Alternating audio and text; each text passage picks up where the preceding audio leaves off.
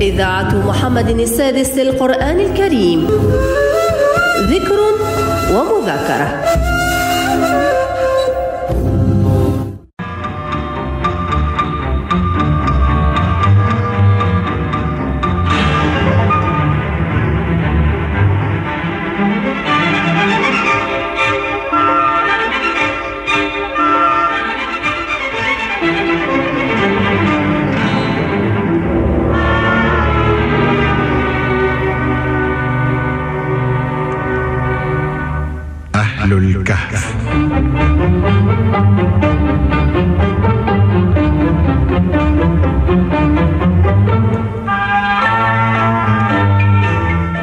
هندسة الصوت والمونتاج هيثم حسامي.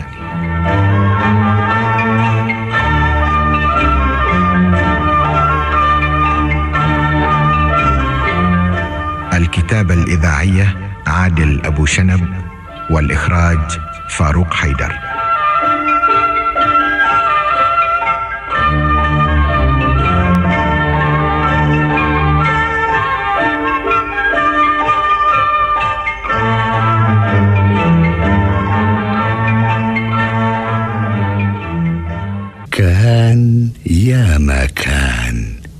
قديم الزمان وسالف العصر والأوان كان هناك سهل منبسط خصيب يقع ما بين حلب وطرطوس وكانت مدينة أفسس تتوسط هذا السهل وفيها تلتقي القوافل القادمة من شرق آسيا. ومن شمالها وجنوبها. وكان سكان مدينة أفسس يعيشون فيها عيشا هانئا. يزرعون الأرض ويأكلون من خيراتها ويرعون الماشية على سفوح الجبال الكثيرة المحيطة بها. إلى أن تولى الملك طاغية يدعى دوقيانوس كان يعبد الأصنام ويدعو رعيته إلى عبادتها وكان يبطش بكل من يعبد الله سبحانه وتعالى. اقترب أيها الوزير باركيوس. أمر مولاي. لقد قررت أن أجعل الأمير يمليخ في حاشيتي فماذا تعرف عنه؟ لا أعرف الكثير يا مولاي لكنني أستطيع أن أعرف كل شيء خلال أيام. لا تعرف الكثير. وما هو القليل الذي تعرفه عنه؟ بلغني أن الأمير يمليخ يهزأ بأصنامنا. ماذا تقول يا باركيوس؟ هذا ما سمعته يا مولاي. إن كان هذا صحيحا قطعت عنقه. سأتأكد من كل شيء خلال يومين. ائتني بالحقيقة قبل أن أقتله. إن ابنتي بريسكا تصر على أن يكون الأمير يمليخ في حاشيتي وأنت تعرف كم أحبها. سمعا وطاعة يا مولاي سمعا وطاعة.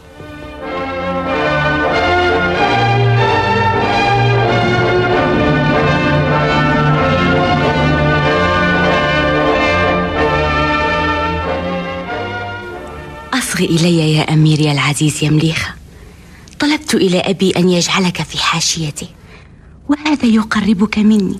لكنني لا أريد أن أكون في حاشية دوقيانوس. أنا لا أهوى القصور. أحب الحياة خارج الأسوار. ألا تحب؟ أحبك أحبك يا بريسكا. ولكنني لا أحب أن أكون أسيرا في هذا القصر. أتسمي البقاء إلى جانبي أسرا؟ لا تفسري كلامي تفسيرا خاطئا. كنت أعني أنني أحب الحياة بعيدا عن أجواء القصور والحاشية والرسميات وبذلك تفسح المجال للافتراء عليك الافتراء علي؟ بماذا؟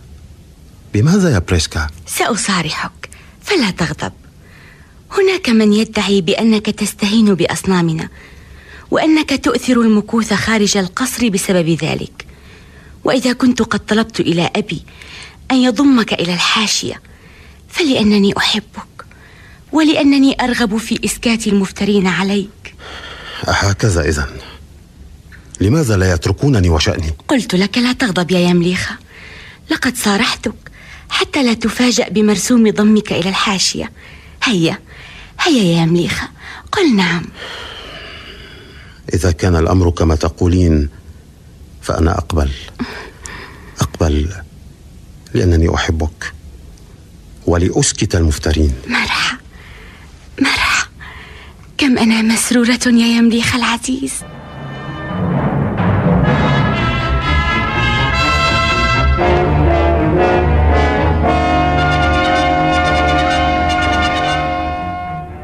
قرر الأمير يمليخا أن يكون واحدا في حاشية الملك الظالم دقيانوس صحيح أنه يعبد الله سبحانه وتعالى ويزدري أصنامه لكنه بانضمامه إلى الحاشية لم يتخل عن رفاقه الذين كانوا يقاومون الملك المتجبر.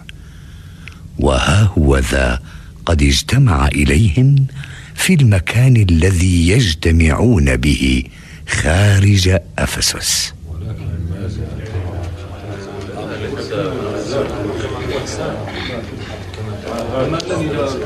صمتا صمتا أيها الرفاق. سأكون في حاشية دوقيانوس ولكنني لن أترككم. أنا مؤمن بالله مؤمن كإيمانكم. أعبده ولا أشرك به أحدا. وربما كان بقائي في الحاشية خيرا لكم ولي. نحن لا نعارض في انضمامك إلى حاشية الطاغية لكننا نريد ألا نفقدك إلى الأبد. نريد أن تبقى رئيسنا ونعمل بمشورتك. إن حياة القصر قد تصرفك عنا. كلا. أعدكم بأن ألتقي بكم كلما سنحت الفرصة. إن شوقي إلى لقائكم لأشد من شوقكم إلى لقائي. وكيف نلتقي؟ ترى هل سيتاح لك الخروج من القصر؟ سأرسل الراعي الذئاب وراءكم كلما سنحت الفرصة أنتم موافقون أيها الرفاق؟ دعونا نصلي إذن للواحد الأحد خالق السماوات والأرض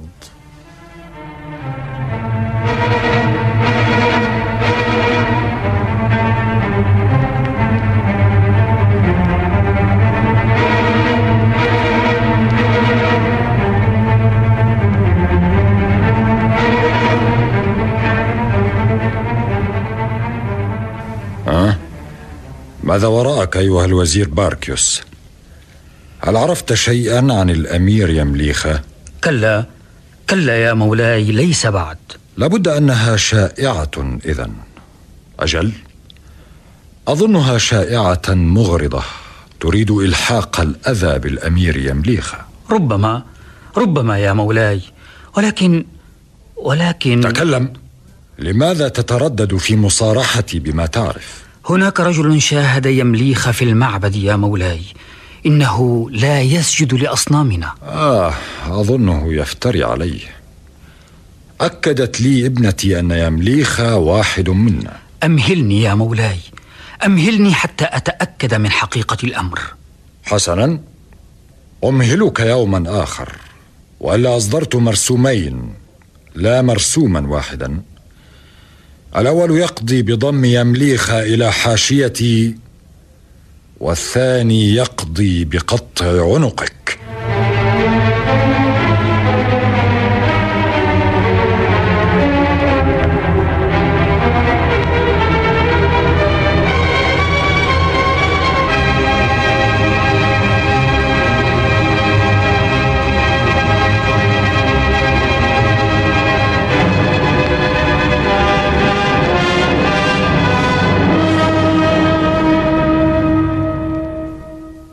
مرسوم صادر عن قصر الملك دقيانوس نحن دقيانوس ملك أفسس نعلن أن الأمير يمليخ يتمتع بعطفنا وأنه أصبح واحدا من رجال حاشيتنا.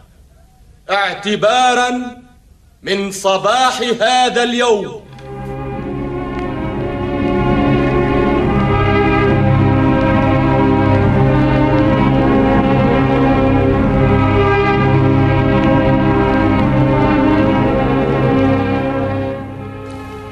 أشد فرحي اليوم يا يمليخة وأنا أيضا فرح يا بريسكا لأنني لأنني سأكون قريبا منك دائما. بل ستكون معي في الصباح والمساء في الليل والنهار. لقد أمرتهم أن يجعلوا غرفتك ملاصقة لغرفتي. حسنا فعلت. إنني أكره جميع من في القصر. سواك. وأبي ألا تحب أبي يا يمليخة؟ أه أه طبعا أحبه. إنه مليكي وسيد أفسس ومن تكره في هذا القصر؟ إن كنت تحبني وتحب أبي. أكره الجميع. ومن تكرهه أكثر؟ باركيوس. الوزير باركيوس. أنت لا تظلمه إن كرهته. أنا أيضا أكرهه. هل تعلم بأنه يريد مني أن أكون زوجا له؟ ماذا تقولين؟ قال لي إنه يحبني فصددته. سيكون عداؤه شديدا عندما يعلم أننا نتبادل الحب وأننا سنتزوج. لا أشك في هذا يا يمليخ العزيز.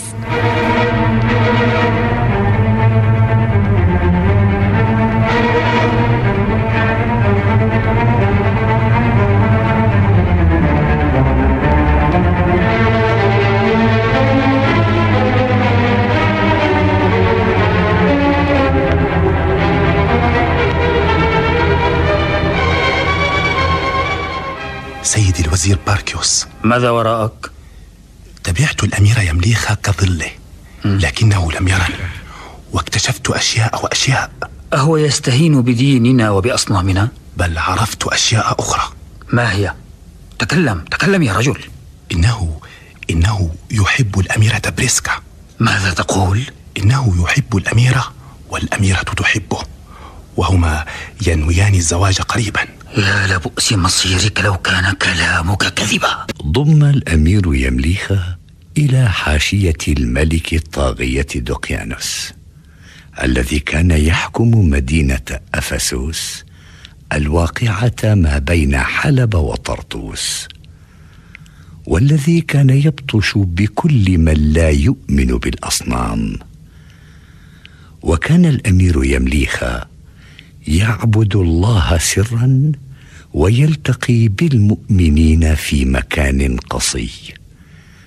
كما كان يحب الاميره بريسكا ابنة دقيانوس ويريدها زوجا له.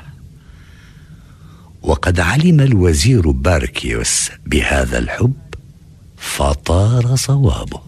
على أي حال يجب أن أتأكد بنفسي. ما تفعله عين الصواب يا سيدي. لا بد أنهما يلتقيان في باحات القصر وردهاته. وسأجرب أن أضبطهما متلبسين. وسأنقل الأمر إلى الملك دقيانوس. وعندئذ سأصطاد عصفورين بحجر واحد. مقتل يمليخا والزواج من الأميرة.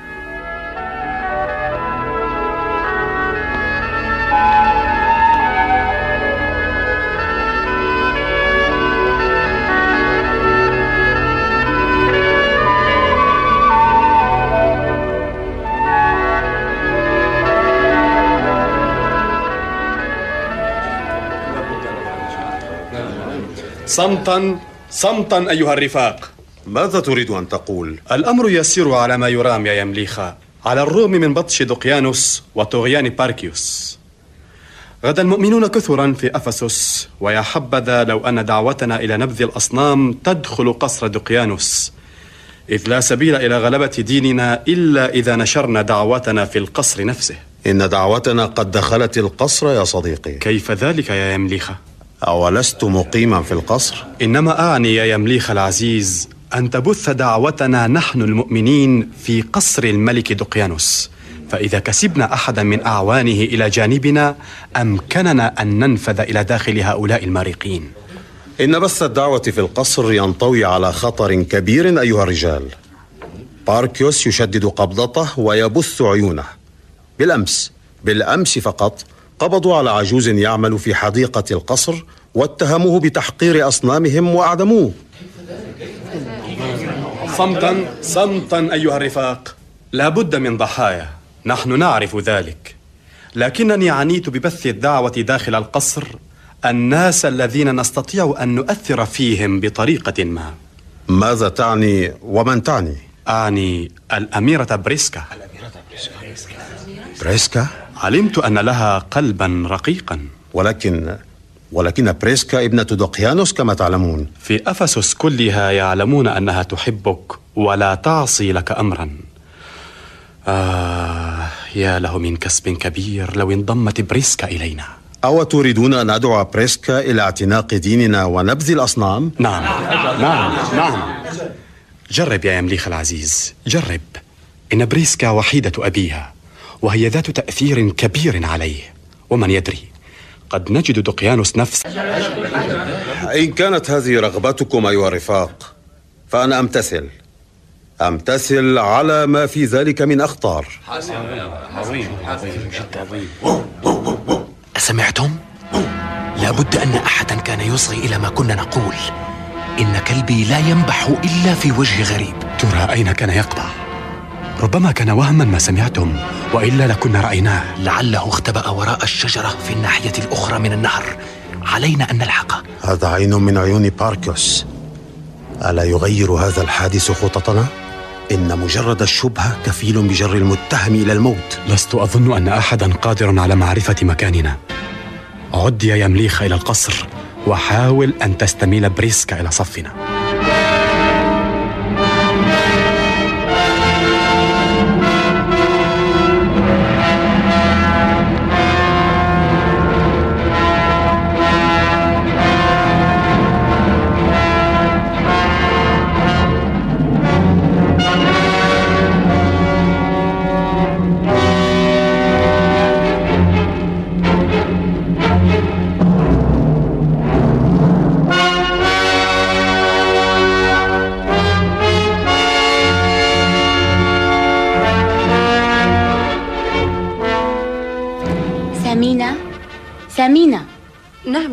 يا مولاتي هل رأيت الأمير يمليخة؟ ذهب مساء أمس خارج القصر ولم يعد. إنني لأعجب من أمره. يخرج أحيانا ويغيب ثم يعود. فإذا سألته تكتم. لابد أن وراء غيابه سرا. سأذهب إلى غرفته لأتفقده إن وجدته اطلبي إليه أن يأتي إلى جناحي على الفور.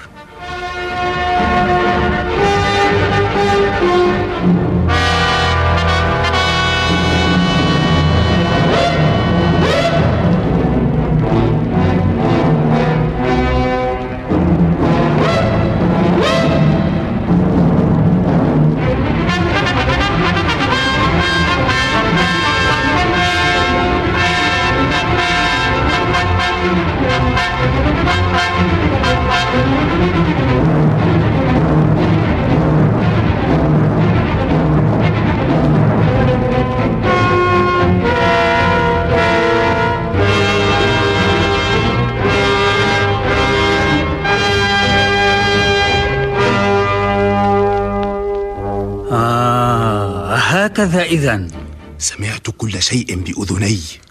اجتمع لدي من الحجج ضد يمليخا ما يذهب به إلى الموت. إنه يتآمر ضدنا وضد أصنامنا. وأكثر من ذلك يا سيدي الوزير. إنه مطالب بأن يدعو الأميرة بريسكا إلى دينه ودين رفاقه. يريدون النفاذ إلى القصر بضلالهم هذا. سمعت ذلك بأذني. خذ خذ هذه الدنانير مكافأة لك. شكرا. شكرا لك يا سيدي الوزير.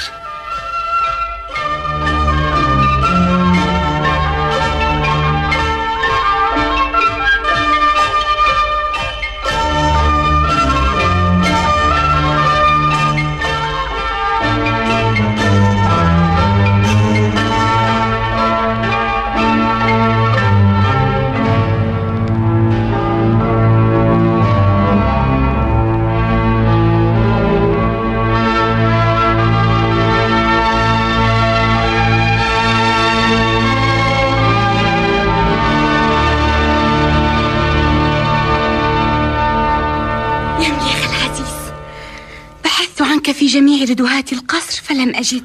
ذهبت في رحلة صيد وقنص. آه ما أمتع الصيد هذه الأيام يا بريسكا ولماذا لم تأخذني معك؟ الواقع الواقع أنني فكرت في ذلك ثم عدلت. لماذا عدلت؟ رحلة كهذه متعبة يا بريسكا ثم ثم إنني ألتقي عادة بمن ليسوا في منزلة تساوي منزلتك. وأنا أعرف أن أباك لا يريد أن تختلطي بمن هم أقل شأنا منك. وهل تعرف أنني أنا أيضا لا أحب الاختلاط بهم؟ أنت لا تمانعين إذن. طبعا. كلنا بشر من طينة واحدة. آه يا بريسكا يحببك إلي. أن لك نفسا طيبة. هل تعلمين أن لي أصدقاء كثيرين في السهول والوديان والجبال؟ أصدقاء طيبين ساذجين يحبونني ويتفانون في الإخلاص لي. أحب أن يكون هؤلاء أصدقائي أيضا. بريسكا هذا أمر سهل سهل للغاية. أصحيح أنه سهل. طبعا طبعا. باركيوس متجه إلينا. ما أبغضه إلى قلبي. إنه يفسد علي اجتماعي بك. من أرى؟ الأميرة بريسكا والأمير يمليخا في خلوة؟ أهلا بك أيها الوزير باركيوس بحثنا عنك طويلا يوم أمس فلم نجدك. أين كنت؟ كنت كنت ولكن لماذا تسأل؟ أو أنا مسؤول أمامك حتى تسألني عن غيابي؟ كلانا مسؤول أمام مولاي الملك دوقيانوس وإذا ما سألتك فباسمه أسأل وعليك أن تجيب كان الأمير في رحلة صيد رحلة صيد قل للملك إنني كنت أصطاد الغزلان في السهل القريب تصطاد الغزلان؟ لابد أن الصيد كان وفيرا هذا ليس من شأنك ليس من شأني؟ المعلومات التي توفرت تؤكد أن رحلتك لم تكن بهدف الصيد والقنص. ماذا تقول؟ أو تكذبنا يا باركيوس؟ كلا كلا يا أميرتي. لكن الحقيقة هي غير ما تعرفين. أفصح. أفصح أيها الوزير قبل أن يفيض غضبي. بل اتركيه يتقول ويفتري علي أفتري عليك يا يمليخة. كنت أؤثر ألا أتكلم. ولكنك ما دمت تتهمني بالافتراء عليك فسأفصح. اسمعي أيتها الأميرة بريسكا. إن يمليخ يجتمع كل ما غاب عن القصر بأعداء ديننا. ماذا تقول يا باركيوس؟ الأمير يمليخ يخوننا يا أميرتي. أصحيح هذا الاتهام يا يمليخة؟ أجب. قل لباركيوس إنه يكذب. أفهم أفهم ورد الطعنة طعنات يمليخة يمليخة لماذا تبقى صامتا؟ عرفنا في الحلقتين السابقتين أن الأمير يمليخا قد ضم إلى حاشية الملك الطاغية دقيانوس الذي كان يحكم مدينة أفسوس الواقعة ما بين حلب وطرطوس والذي كان يبطش بكل من لا يؤمن بالأصنام. وكان الأمير يمليخا يعبد الله سرا ويلتقي بالمؤمنين في مكان قصي. وقد بث الوزير باركيوس العيون حوله حتى عرف أنه يجتمع بالمؤمنين في مكان قصي ففاجأه بمعلوماته أمام الأميرة بريسكا ابنة دقيانوس التي كان الأمير يمليخا يحبها. أجب يا يمليخة. قل لباركيوس إنه يكذب. أفحمه ورد الطعنة طعنات لماذا تظل صامتا؟ أنا صامت أيتها الأميرة. لأنني لا أجد كلاما يعادل هذه التهمة الباطلة التي وجهها إلي وزير أبيك. يلفق تهمة ضدك يا يمليخة. وتبقى صامتا؟ سأنقل إلى أبي ما رأيت حتى يعرف أي رجل وزيره باركيوس. ألم يكفك أنك تطفلت على جلستنا يا باركيوس؟ رويدك أيتها الأميرة. أنا اتهمت الأمير يمليخة والأمير يمليخة ادعى أنني ألفق. القرائن ستدين واحدا منا. أهناك قرائن؟ تكلم. لست بالرجل الذي يلقي التهم جزافة هناك أدلة وقرائن سأبرزها في الوقت المناسب. في الوقت المناسب؟ أطلعني عليها يا باركيوس. إنني ابنة مليكك. وإذا كان فيها ما يدل على خيانة فسأكون أول من يدين الأمير يمليخة. اجتمع الأمير يمليخ أمس بأولئك المارقين قرب ضفة النهر وجاء إلي من أخبرني بتفاصيل هذا الاجتماع. أتريدين قرينة أوضح من هذه القرينة؟ أو صحيح هذا الاجتماع يا يمليخة؟ من يختلق تهمة يختلق أخرى. وما أكثر الذين يتملقون الوزير باركيوس حتى يكسبوا عطاياه. هل عقدت اجتماعا أم لا؟ بلى. اجتمعت بأصدقاء ولكن أصدقاء. قل متآمرين. كفى يا باركيوس. إنني لا أسمح لك باتهام أصدقائي. أمير مثلك يصادق الرعاع. هذا معقول إن لم يكن تآمرا؟ إنهم جماعتك وأنت زعيمهم. ماذا تقول؟ أتصفعني يا يمليخة؟ انتظر إذا ساعة الحساب. ما أقذر هذا الرجل. اتهمك بوضوح. أخبرني يا يمليخة ما سبب هذا الاتهام؟ هناك أكثر من سبب. باركيوس يحبك يا بريسكا. وعندما آنس في موقفك ميلا إلي وصدا له اختلق تهمة تبعدني عنك. هذا كل ما في الأمر يا بريسكا العزيزة.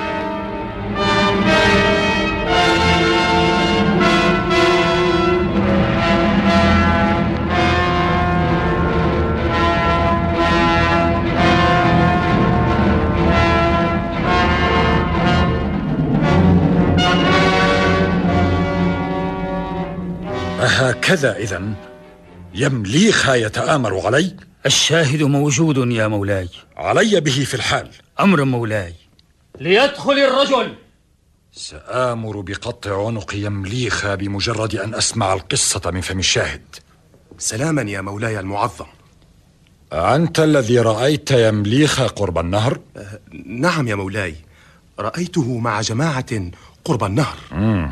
وهل سمعت حديثه؟ نعم يا مولاي.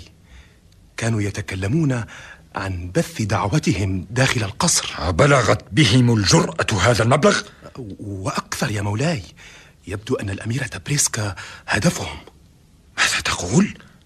قطع جسدي إربا إربا. إن كنت كاذبا في كلمة واحدة يا مولاي. إنهم يريدون أن يستميلوا الأميرة بريسكا إلى جانبهم. ويبدو أن الأمير يمليخا قد تعهد بذلك. وكيف اهتديت إليهم أيها الرجل؟ لحقت الراعي ذياب. ومن هو هذا الراعي؟ يتجول في كل مكان وينقل رسائلهم وأخبارهم. ماركيوس نعم يا مولاي. اعتقل الراعي ذياب ولا تسمح للأمير يمليخا بمغادرة القصر.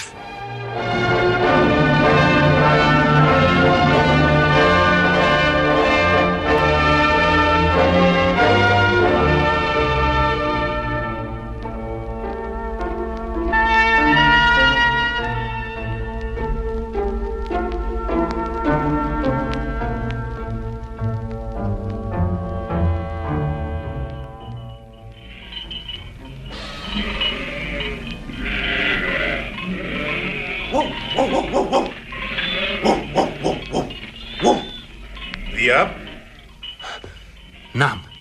من أنت؟ معنا أمر بالقبض عليك. أنا؟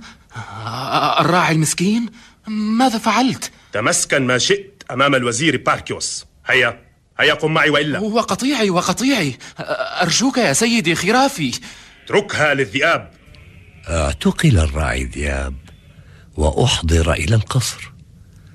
وأحس الأمير يمليخا بالأخطار المحدقة به فحاول الفرار إلا أن الحراس منعوه فأيقن أن سره قد افتضح ولم يبق أمامه إلا الأميرة بريسكا لم يبق لي سواك يا بريسكا ماذا جرى؟ ولماذا منعوك من الخروج؟ القصة نفسها يوجهون إليك اتهاما خطيرا فما هي القصة بالضبط؟ هل تحفظين السر يا بريسكا؟ سرك في بئر قل أنا أرجو أن تتفهمي الأمر بوضوح يا بريسكا ما ما قاله باركيوس صحيح صحيح؟ ماذا تقول؟ أقول إنني لا أعبد أصنامهم بل أعبد الله سبحانه وتعالى ولكن ولكن أنت تقف ضد ديننا وأصنامنا إنها يا بريسكا أصنام خرساء لا تنفع ولا تضر. صنعناها نحن بأنفسنا ونحن قادرون على تهشيمها. كلامك خطير يا يمليخة. وأخطر منه أن أشرك بالله. إن كلمة واحدة مما تقول تدفعك دفعا إلى القتل. لا أحد ينقذني سواك يا بريسكا.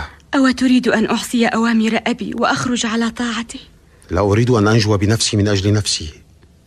أريد أن تيسري لي سبيل الفرار كي أنقذ رفاقي المؤمنين. فأنا أعلم أن أباك لن يتركهم طلقاء تطلب مني أكثر من طاقتي. أولا تحبينني يا بريسكا؟ بلى بلى أحبك. إذا باسم الحب الذي يربط ما بين قلبينا أناشدك أن تساعديني على الفرار.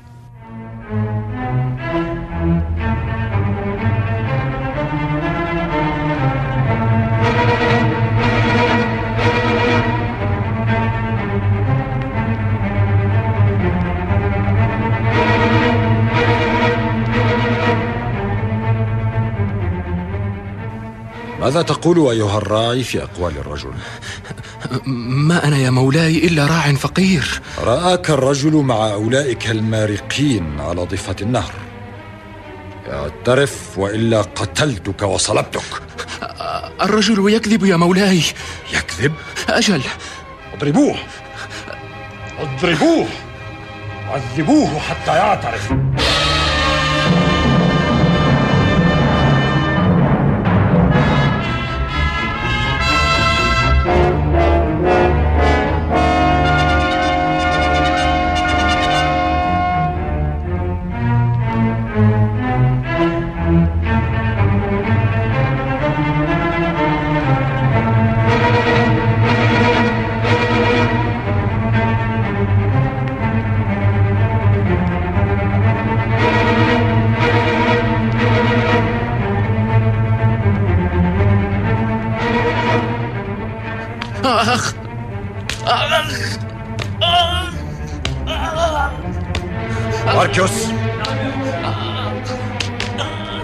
ائتني بيمليخة في الحال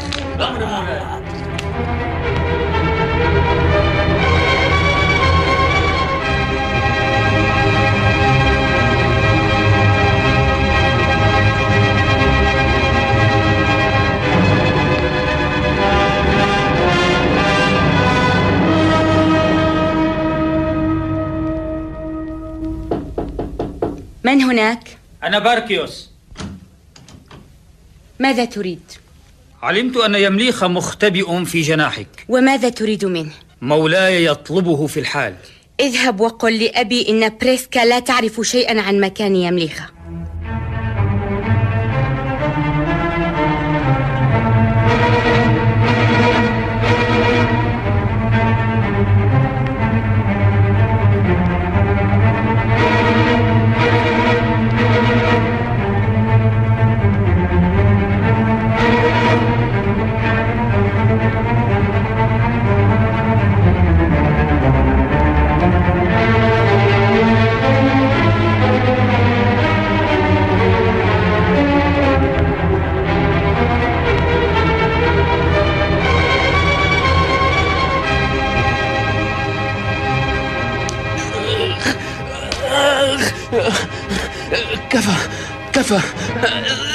سأعترف سأعترف. سأقول لكم كل شيء. أرجوكم. كفى. كفى. سأعترف. سأعترف. عرفنا في الحلقات الثلاث السابقة أن الأمير يمليخة الذي يحب الأميرة بريسكا ابنة الملك الطاغية دوقيانوس والذي يستهين بعبادة الأصنام ويعبد الله سبحانه وتعالى مع جماعة من أهل مدينة أفسوس. عرفنا أنه قد افتضح أمره فلجأ إلى بريسكا لتنقذه من طغيان أبيها. وقد غضب أبوها عندما علم أنها تخفيه في جناحها ولا تعترف بذلك. هكذا إذا بريسكا تتستر عليه. هل تسمح لي باقتراح يا مولاي؟ وما هو اقتراحك؟ أقترح يا مولاي أن تتحدث أنت مع الأميرة. وبمعنى آخر أقترح أن تضبطه في غرفتها قبل أن تمكنه من الفرار. اقتراحك مقبول. هيا هيا. انكشفت يا يمليخة. انكشفت. وحان وقت عقابك. ولماذا تتستر بريسكا عليه في رأيك؟ ربما ربما بسبب نفوذه عليها. تقصد أنها تحبه وتريد الزواج منه؟ نعم يا مولاي. سأجتث هذا الحب من قلبها إلى الأبد. إن اعتراف الراعي أذهلني. أبي أهلا بك في جناحي. أين يمليخة؟ يمليخة إنني لا أعرف شيئا عن مكانه يا أبي. يقولون إنه مختبئ في جناحك. كلا كلا يا أبي. أصغي يا بريسكا. جميع القرائن التي تدين يمليخة متوفرة. وفي قبضة يد بعض أعوانه الذين اعترفوا بأنه يعبد إلها غير أصنامنا. هيا هيا أفصحي عن مكانه حتى ينال قصاصه. ولكن يا أبي إن أفسوس وهيبتها بين يديك يا ابنتي. فإذا تسترت عليه سمحت للمارقين بأن يعيثوا فسادا في أرضنا. لو كان عندي لدللتك على مكانه كيف تقول يا باركيوس إن يمليخ موجود في جناحها؟ لا بد أنه فر من جناحها قبل دقائق. أصحيح هذا؟ كلا يا أبي. على أي حال لن يجد مكانا يهرب إليه. أبواب القصر مغلقة. هل يسمح لي مولاي بالبحث داخل الجناح؟ أنا لا أسمح بل لك. يجب أن تسمحي العدالة في خطر يا بريسكا. ديننا في خطر. اذهب. اذهب يا باركيوس وابحث في كل غرفة من غرف هذا الجناح. جرأت باركيوس علي يا أبي. باركيوس وزيري. وأنا ابنتك. صحيح. لكنني سمعت سمعت أنك إنني أحبه. أليس كذلك؟ نعم. أحبه ويحبني وسنتزوج بمعرفتك. لقد تبدل كل شيء يا بريسكا. يمليخ مدان بالتآمر علي وعلى أفسوس وعلى أصنامنا ولا بد من إعدامه ماذا؟ ماذا يا أبي؟ أو تبكين هذا المارق؟ أبكي حظي يا أبي. سيبتسم حظك. ما كنت لأقبل أن تتزوج ابنتي الوحيدة من مارق حتى لا تقع في الحظ العاثر. وإذا عاد يمليخ إلى حظيرتنا؟ ربما تسامحت قليلا لكنه لن يكون زوجك على أي حال من الأحوال. لم أجده يا مولاي. إياك أن تتجرأ علي بعد الآن يا باركيوس. عفوا يا أميرتي إنني أنفذ أوامر مولاي. كفا عن الخصام وتعاونا في العثور على يمليخة. إنني أريده حيا أو ميتا.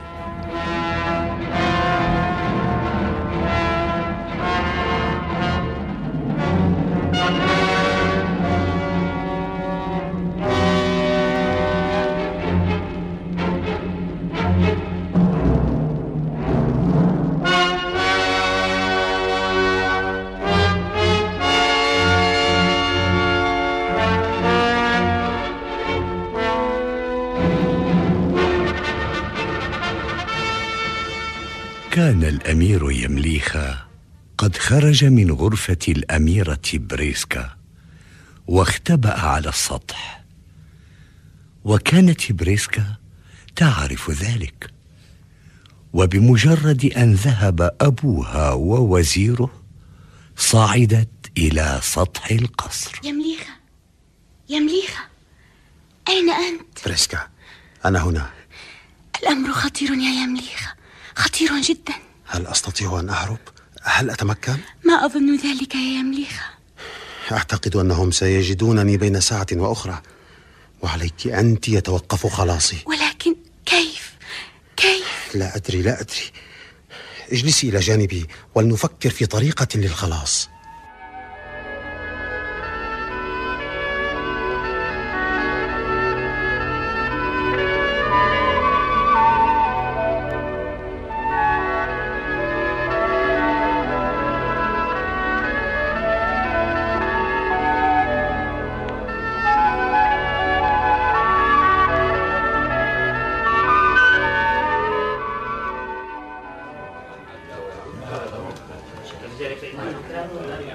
اعلموا أيها الرفاق أننا في مأزق.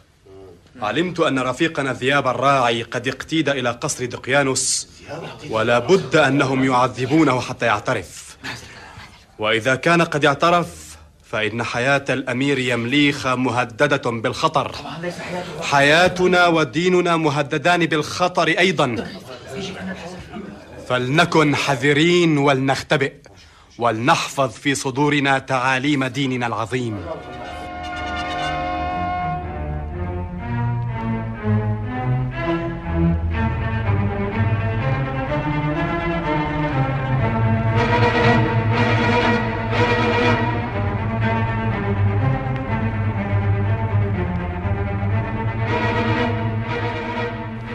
هل يسمح لي مولاي بقتل الراعي ذياب؟ تمهل قليلا حتى نجد يمليخا بحثنا عنه في كل مكان في القصر لكننا لم نعثر له على أثر بحثتم في كل مكان هل خرجتم إلى سطح القصر؟ سطح القصر؟ كلا يا مولاي إن الأبواب التي تؤدي إلى السطح موصدة إذا صدق حدسي فإن يمليخا قد استخدم مفتاحا تملكه الأميرة وصعد إلى السطح خذ يا باركيوس إليك هذا المفتاح. فاصعد مع ثلة من الجند إلى السطح فقد تجد يمليخا هناك.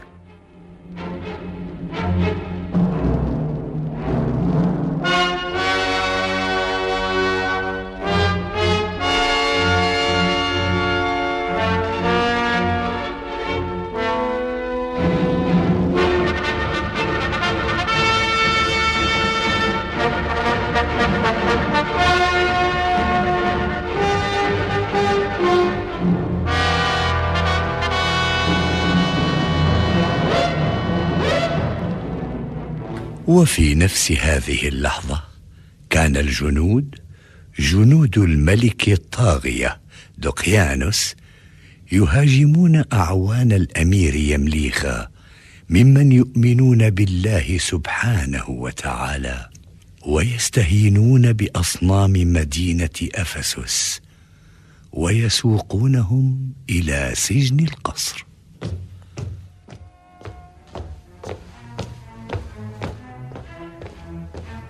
تمهلوا! والأصعد أنا وبعض الجنود في صمت إلى السطح. هيا!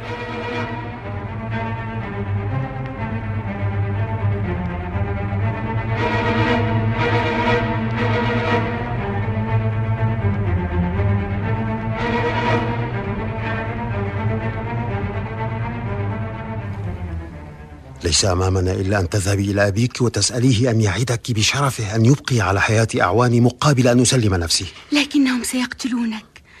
إنك خطر كبير على أفسوس. لأمت أنا لأمت وليعش أعواني. لا أستطيع أن أتصورك قتيلا. بريسكا هذه مشيئة الله. إنني أحبك يا يمليخة أحبك. وأنا أيضا يا بريسكا. ولكن سوء حظينا أقوى من حبنا. سأبذل محاولة أخيرة. اذهبي يا بريسكا. اذهبي إلى أبيك حالا. ها نحن على السطح. انظروا. إنها الأميرة بريسكا. لا لا لا دعوها تمضي. ولنتجه نحو يمليخة. لقد صدق حدس الملك من أرى؟ الأمير يمليخة على السطح؟ ما كنت أظنك جبانا إلى هذا الحد. اسكت. اسكت قبل أن أعالجك بضربة. تعالجني بضربة؟ هيا! اقبضوا عليه وسوقوه مكبلا بالحديد إلى السجن. لقد انتهيت يا يمليخة انتهى دينك وانطفأ حبك. وأصبحت بريسكا زوجتي.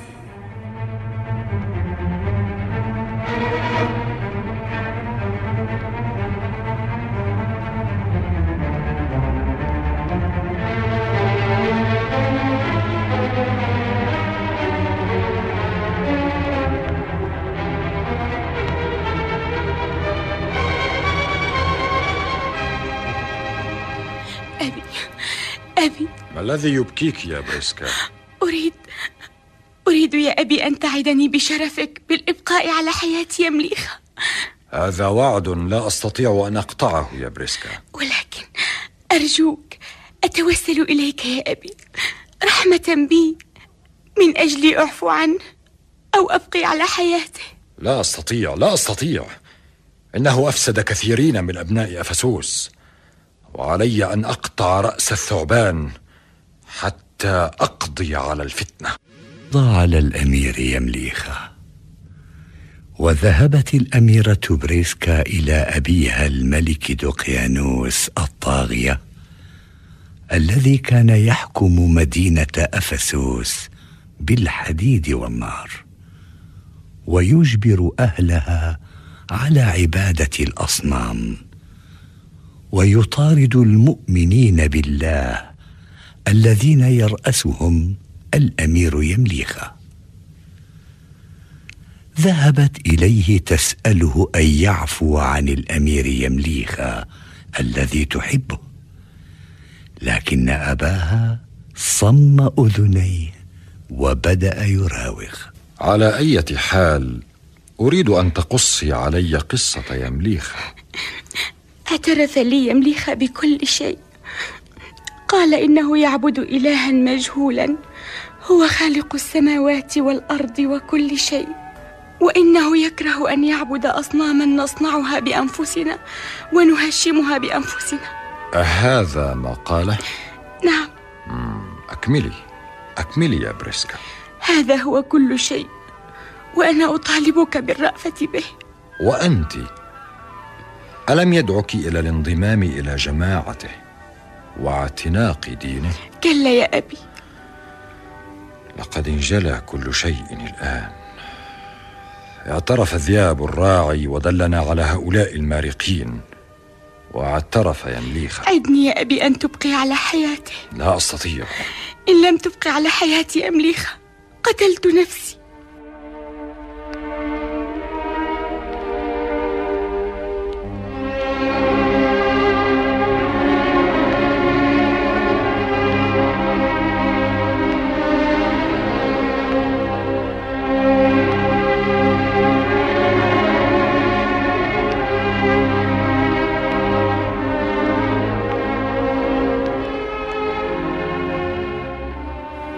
من؟ مولاتي الأميرة بريسكا؟ أريد أن أرى الأمير يمليخ أيها السجان مولاي منعني من أن منعك أو تظن أنه يمنعني أنا ابنته هيا قدني إلى زنزانة الأمير يمليخ أمرك يا مولاتي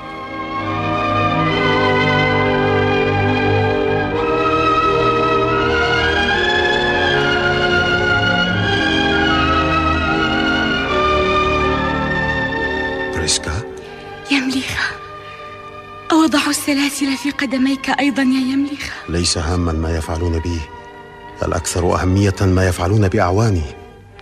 أفضل أن أموت معهم خاصة وأنني كنت سببا في القبض عليهم. هون عليك هون عليك يا يمليخ. لا بد من حيلة. بريسكا يجب أن ننقذ الجميع قبل أن يفتك بهم. سأحاول سأحاول. هذا وعد؟ بل هذا عهد. إنني أحبك يا يمليخ ولن يكون لي زوج سواك. خلوة العاشقين تتم في السجن الآن. باركيوس؟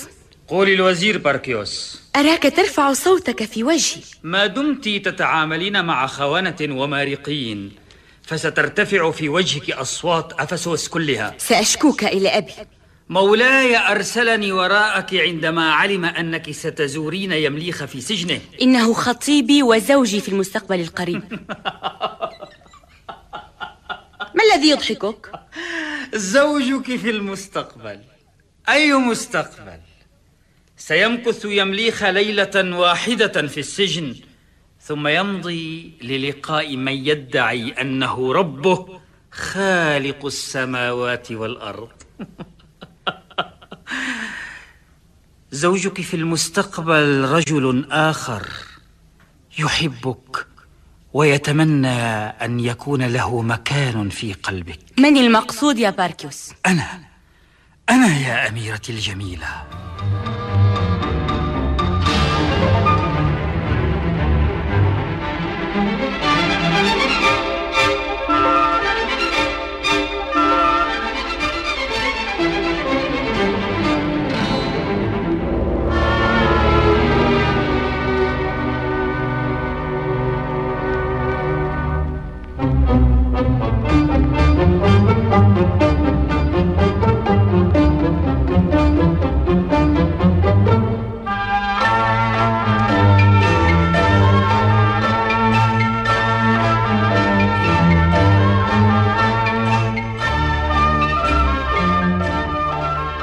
وزج الطاغية دقيانوس ووزيره باركيوس بالمؤمنين في غياهب السجون.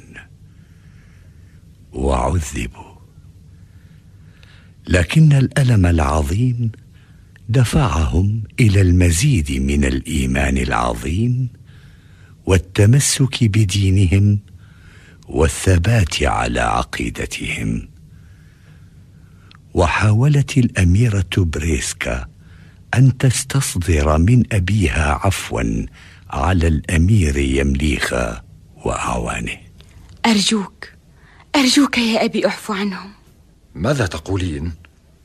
اعفو عن المارقين الذين هزئوا بأصنامنا وخرجوا على ديانتنا. كن رحيما يا أبي واترك كلا ومعتقده إن أفسوس كلها تتحدث عن بطشك. حتى أنت يا بريسكا. حتى ولو كنت ابنتك.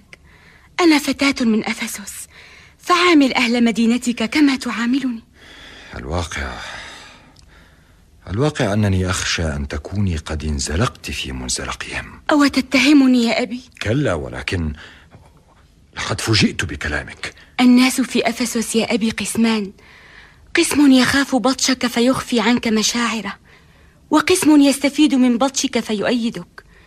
وربما كنت أنا الوحيدة القادرة على مصارحتك لكنك لا تريد أن تصغي. سأصغي. سأصغي. ماذا تقترحين؟ أعف عنهم. ماذا تقولين؟ إن كنت تريد رؤوسهم تشفيا فاعدمهم. وإن كنت حريصا على دينك فاعف عنهم مقابل أن يتركوا دينهم الجديد ويعودوا إلى آلهتنا وأصنامنا وديننا. مم. اقتراح ذكي يا بريسكا. أنت أجمل جوهرة بين كنوزي ومن أجلك سأعطيهم هذه الفرصة الأخيرة.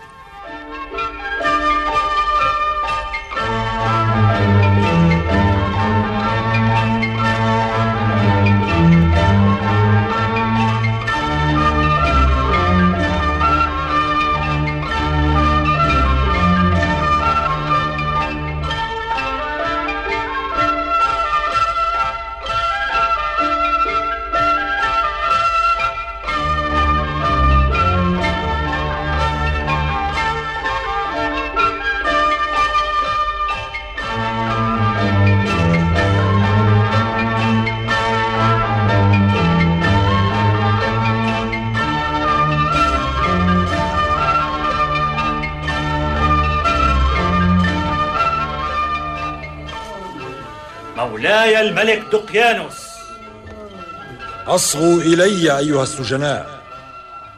أنتم اولا وأخيرا جزء من شعب أفسوس. إني قادم إلى سجنكم لأمنحكم الفرصة الأخيرة. عودوا إلى دين أفسوس. أعفو عنكم جميعا. الوقت قصير وبين الموت والحياة كلمه فليقل كل منكم إنه تائب عائد إلى دينه القديم.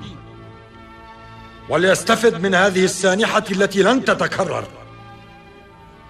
إنني وعدت الأميرة بريسكا أن أمنحكم هذه الفرصة وها قد بررت بوعدي فما قولكم؟ أرى أنهم صمتوا كأن على رؤوسهم الطير. ماذا تقول يا باركيوس؟ إنهم يا مولاي متشددون متصلبون. سأخاطب الأمير يمليخا إذا. يا يمليخا لست أشك في أنك زعيمهم. ألست كذلك؟ أنا واحد منهم. هيا إذا شجعهم على أن يتوبوا قبل أن أفقد حلمي ويعود إلي غضبي. كل مسؤول عن نفسه. كل مسؤول عن نفسه. ما دام الأمر كذلك أنت أمستعد للتوبة والندم حتى أعفو عنك؟ أنا أنا؟ نعم أنت. بريسكا ترجوني أن أرأف بك. أنا أنا قد آمنت بالله خالق السماوات والأرض. وهذا يقين لا أملك أن أؤذيه ولا أستطيع. ترفض اذا منحه العفو؟ ما كنت أظن أنك في مثل هذا العناد. لست عنيدا.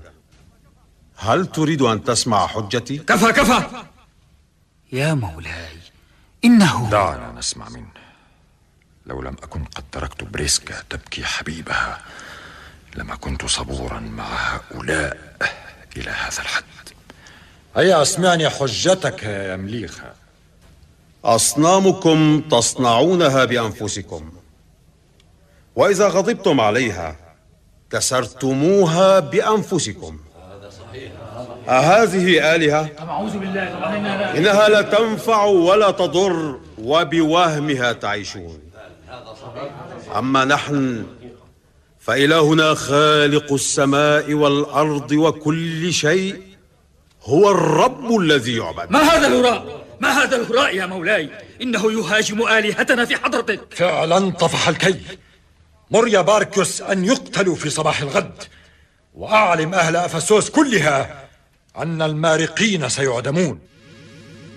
عشتم مع أبطال قصتنا هذه في الحلقات السابقة. حتى قبض على الأمير يمليخا وأعوانه وزجوا في السجون.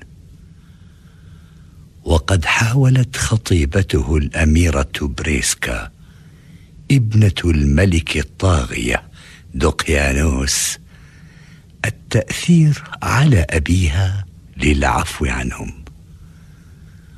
فعرض عليهم العفو مقابل أن يتوبوا عن عبادة الله ويعودوا إلى عبادة الأوثان والأصنام. فرفضوا ذلك. وعندئذ أمر دقيانوس الطاغية أن يعدموا صباح اليوم التالي. اسمعوا يا أهل أفسس. سيعدم صباح غد في ساحة المدينة الكفرة المارقون الذين هزئوا بأصنامنا واستهزأوا بديننا. إن مولانا الملك دقيانوس يدعوكم إلى مشاهدة إعدامهم.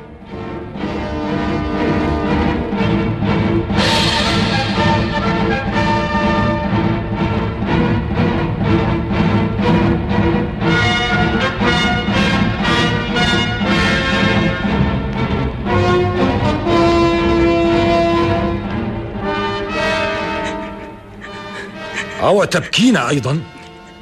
كان حريا بك أن تشتمي يمليخا بدلا من أن تبكيه. لقد استهان بالفرصة التي هيأتها له ولأعوانه وأعلن أمام الجميع أنه لن يتوب. ماذا تريدين أن أفعل أكثر من هذا؟ أنا لا أبكي أحدا. أنا أبكي حظي العاثر ومن قال إن حظك عاثر؟ الرجال كثر. وأفضل من هذا المارق يمليخا لست أعني هذا يا أبي. بل تعنينه اسكتي يا ابنتي. اسكتي وإلا حسبتك واحدة منهم. أتمنى أن أموت معهم. أإلى هذا الحد تحبين يمليخة؟ نشأنا معا وأحببنا بعضنا. وباركت أنت خطوبتنا فكيف لا أحبه على أي حال اعتبرني ميتة منذ هذه اللحظة. ماذا تقولين؟ أأنت مجنونة؟ كلا ولكني سأنتحر. لا. سأنتحر. لا لن تنتحري.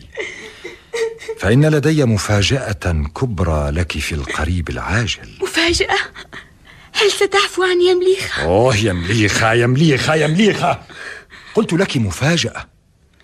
مفاجأة وستعرفينها في أقرب وقت.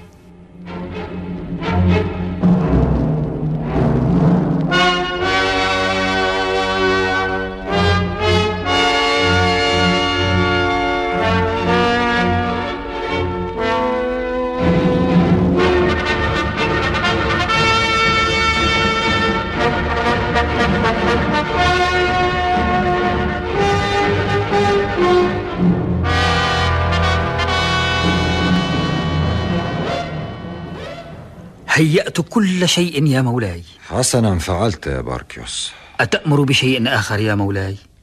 أعدم الجميع أه باستثناء يمليخة ها؟ ولكن ولكن يا مولاي بقاء يمليخ على قيد الحياة يؤثر في أتباعنا. سيقولون لماذا يبقي الملك على حياة يمليخ وهو زعيم المارقين؟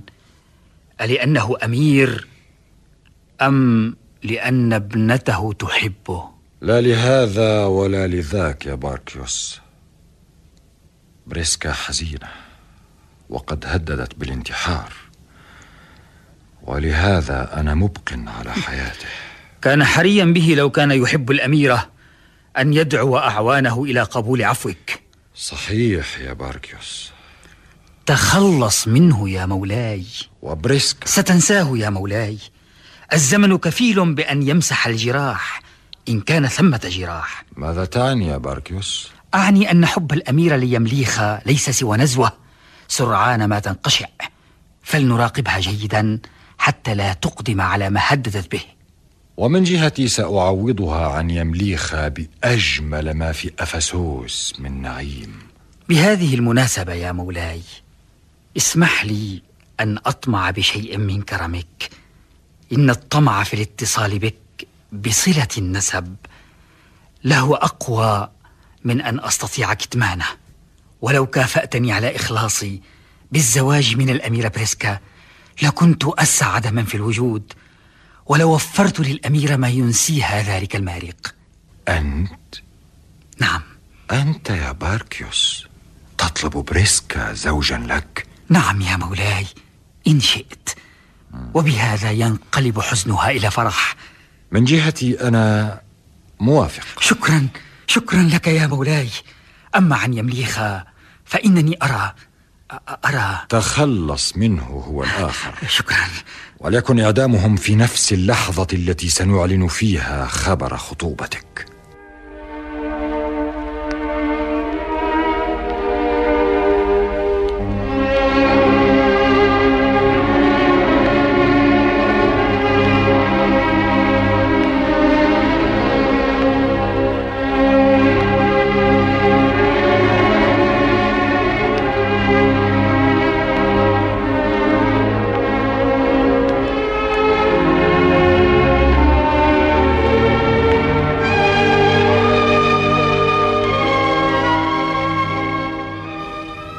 ألحت الأميرة بريسكا على أبيها أن تعرف المفاجأة التي وعدها بها.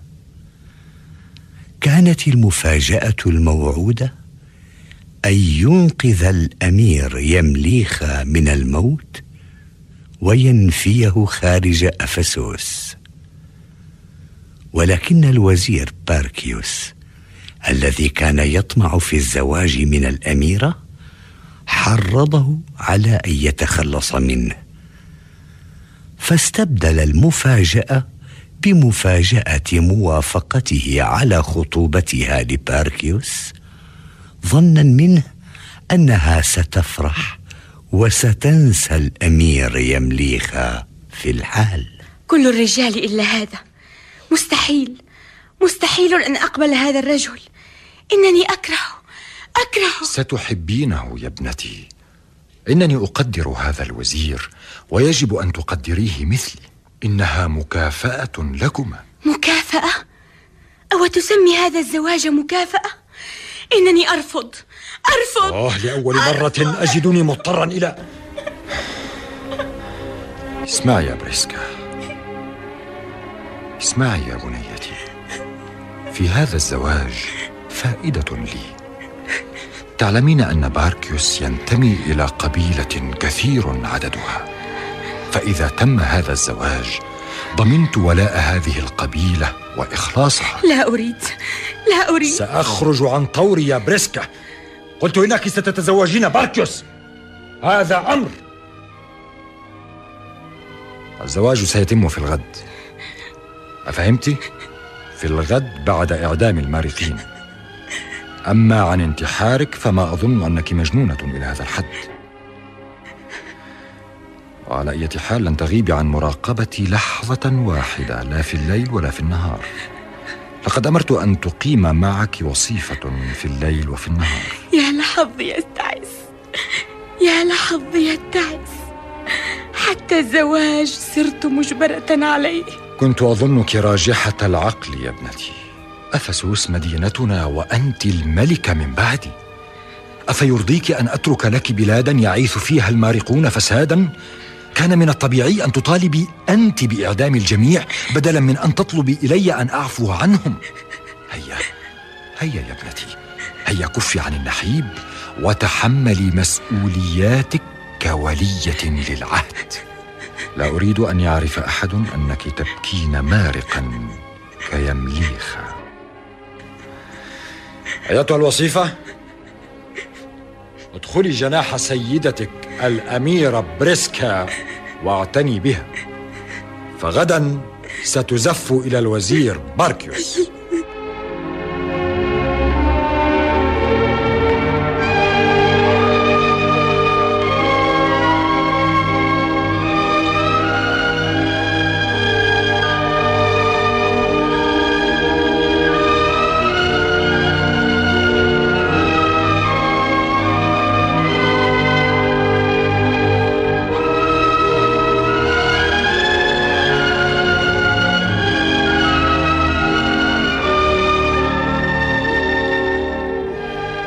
أمضت الأميرة بريسكا سحابة اليوم الأخير وهي تبكي. حاولت الوصيفة أن تخفف عنها حزنها فلم تستطع. لكنها مع بكائها كانت تفكر. تفكر في هؤلاء الذين آثروا الموت على العودة إلى عبادة الأصنام. كانت تكبر فيهم هذه الشجاعة وكانت تكبر فيهم هذا التعلق بدينهم وإلههم إله السماء والأرض. ولقد قالت بينها وبين نفسها لو لم يكن هؤلاء على حق لما تمسكوا بدينهم؟ وكشف الله بصيرتها.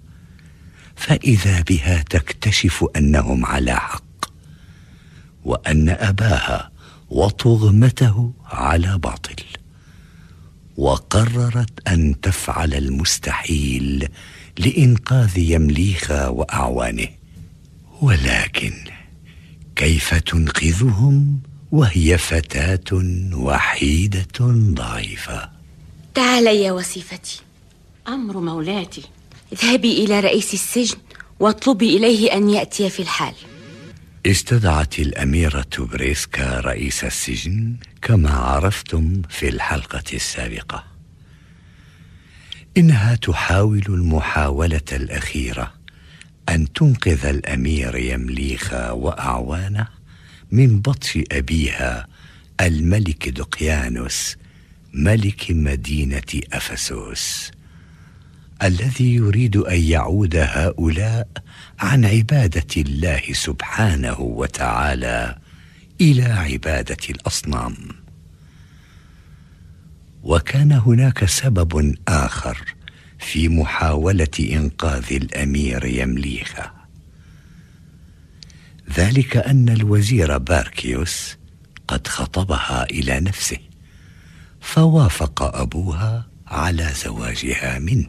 استدعيتك يا رئيس السجن. كي أكلفك بمهمة خاصة. أنا في خدمتك يا مولاتي. اذهبي أنت أيتها الوصيفة وشكرا لك. اسمع أنا أعرف أنها مهمة خطيرة. لقد اخترتك للقيام بها لأنني أعرف إخلاصك لي وحرصك على القيام بما أطلبه منك. مري يا مولاتي فإن لك أيادي بيضاء علي. لا أنساها أولم تنقذيني من الموت ذات يوم؟ أصغي أريد أن تفتح الليلة أبواب السجن وتخرج الأمير يمليخ وأعوانه أه، ماذا؟ ماذا تقولين يا مولاتي؟ ما قلته واضح إنني أريدك أن تفعل هذا وليكن هذا العمل مقابل ما فعلته من أجلك يوم أنقذتك من الموت أه، ولكن هذا العمل يعرضني إلى عقاب أقله الموت سأبرر غيابك سأواجه أبي وسأقول إنني أنا التي فتحت أبواب السجن. أمرك يا مولاتي. شكرا لك. شكرا.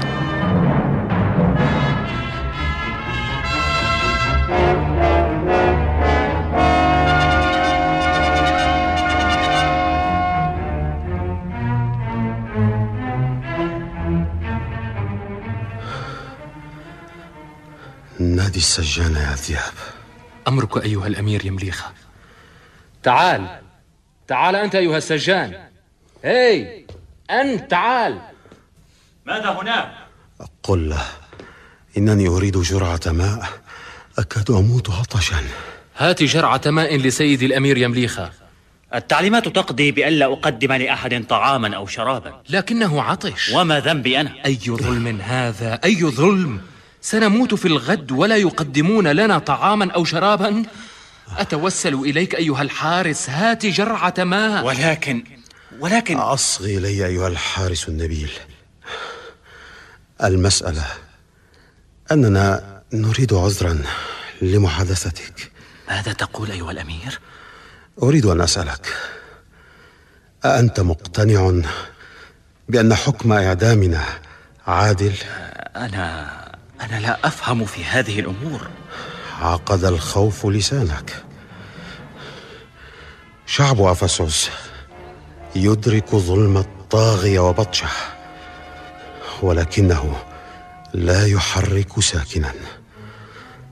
ولو أن عددا من الناس طالب الطاغية دوقيانوس أن يرعويه لعرف أن في أفسس من هو شجاع. إلى حد الوقوف في وجه الطغيان. أرجوك أرجوك أيها الأمير إنني أدرك كل شيء وأعلم أن كلامك حق لكنني أخشى على نفسي وأسرتي إن أنا تكلمت فاتركني. أرجوك أن تتركني. واعلم أن قلبي ينفطر حزنا كلما فتحت الباب لسجين ذاهب إلى ساحة الإعدام. يكفيني منك هذا القول أيها الحارس النبيل. إن كنت عطشا أيها الأمير فسأخالف الأوامر وآتيك بجرعة ماء.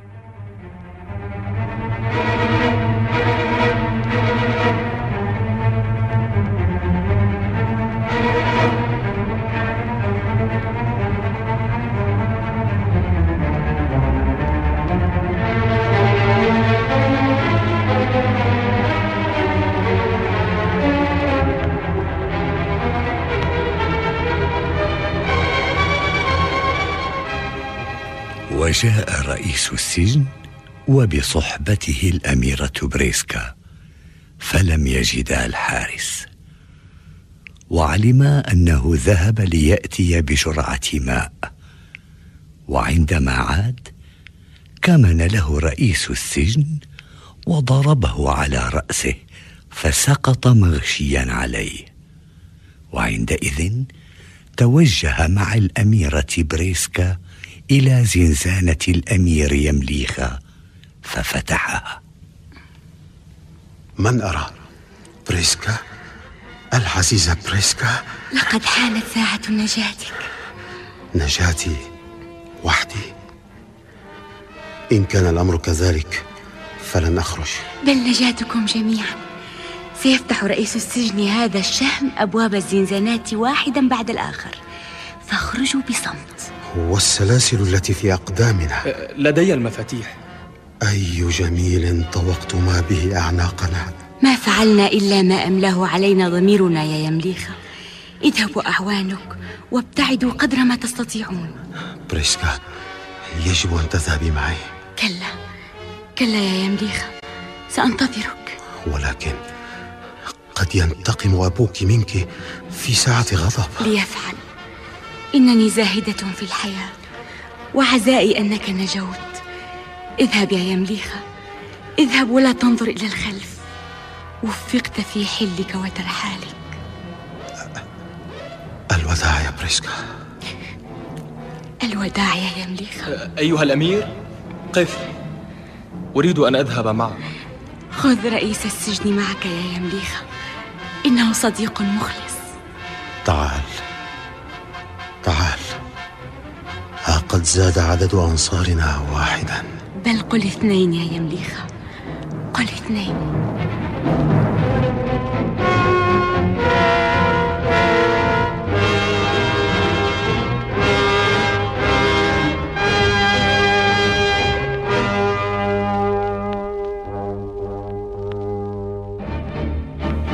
أين كنت سيدتي؟ خرجت في شأن من شؤوني. لست أدري ما الذي جرى لي. كأنني شربت مخدرا يا مولاتي. لقد شعرت بضغط النوم علي. ثم ثم أفقت فلم أجدك. هوني عليك أيتها الوصيفة. لقد نمت. إن مولاي سيحاسبني على نوم هذا. لن يحاسبك. أتعهد بذلك.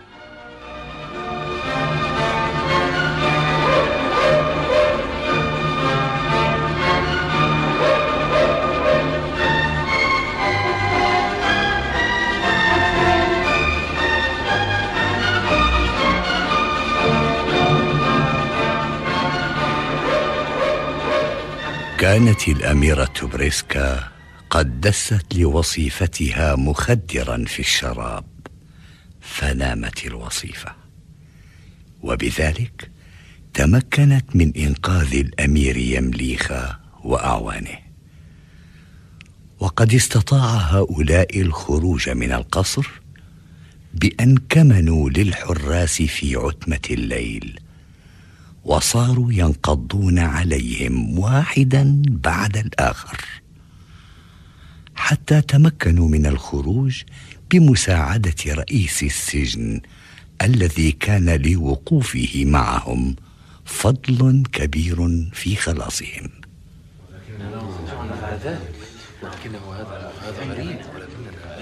أين تقترح أن نذهب أيها الأمير يمليخة؟ لنصعد هذا الجبل العالي جبل بنجلوس. إنني أعرف كهفا نستطيع أن نختبئ فيه. وأنا أيضا أعرفه لشد ما أنا ذهبت إليه مع خرافي. ولكن الطريق إليه وعرة. هذا يناسبنا أيها الأمير حتى لا يعثر علينا الطاغية دقيانوس. اصعدوا الجبل إذا واجتهدوا ألا تتركوا آثار أقدامكم على التراب. هيا! هيا هيا, هيا.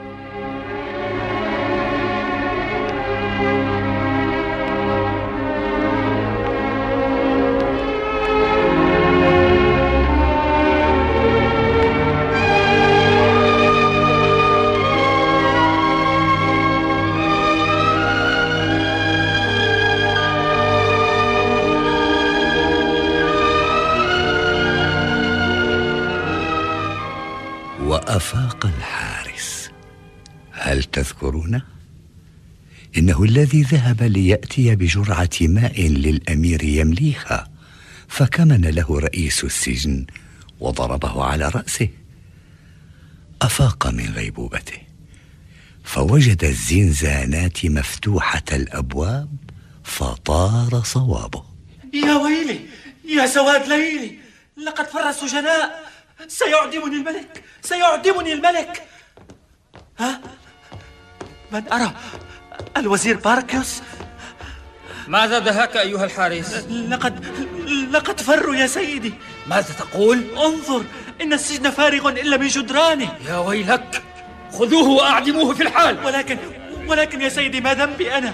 ما ذنبي أنا؟ لقد تركتهم يخدعونك. فكان لزاما عليك أن تتحمل نتيجة خطأك. أرجوك أرجوك يا سيدي. ارحمني. ارحم شبابي. ارحم زوجتي وأطفالي. هيا أيها الجند. لابد أنهم قريبون من القصر. فلنلحق بهم. ولكن لا اذهبوا أنتم.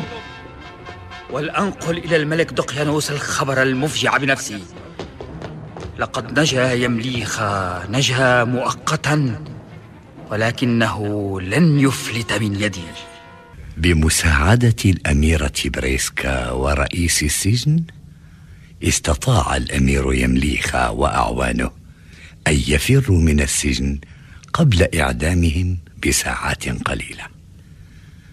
وهذا الفرار من السجن قد هيأ لهؤلاء الفارين أن يحتفظوا بدينهم الذي حملوه في صدورهم والذي يقضي بعبادة الله سبحانه وتعالى خالق السماء والأرض وكل شيء.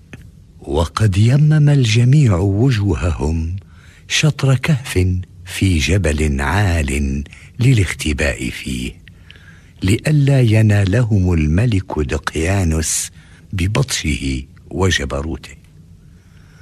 وهو الذي كان يعبد أصناما أقامها في مدينة أفسس. أما الوزير باركيوس فقد حمل النبأ إلى الملك الطاغيه أيها الملك أيها الملك أيها الملك هل بلغك النبأ؟ أي نبأ؟ آه ولماذا تفسد علي نومي؟ فر السجناء يا مولاي ماذا تقول؟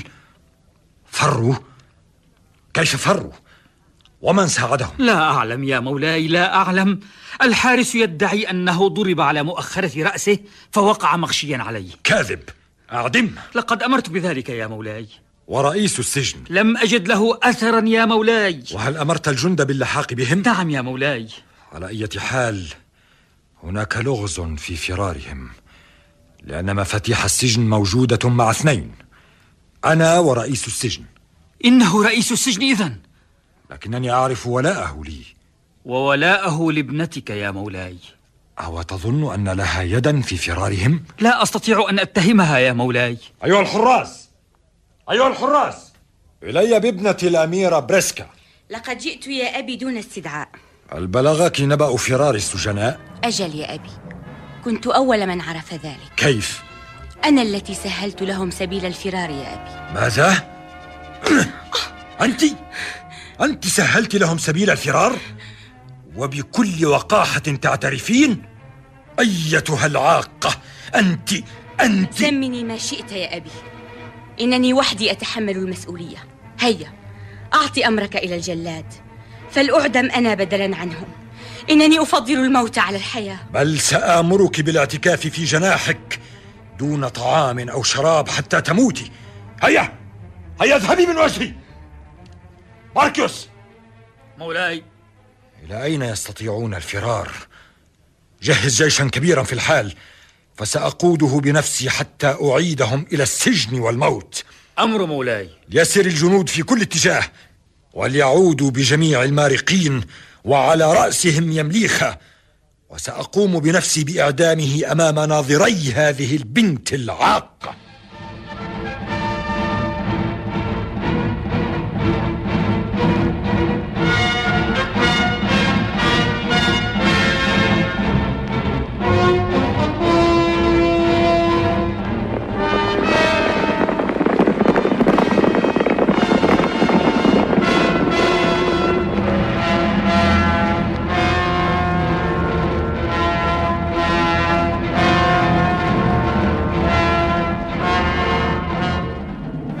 اسأل هذا الراعي يا باركيوس اسمع.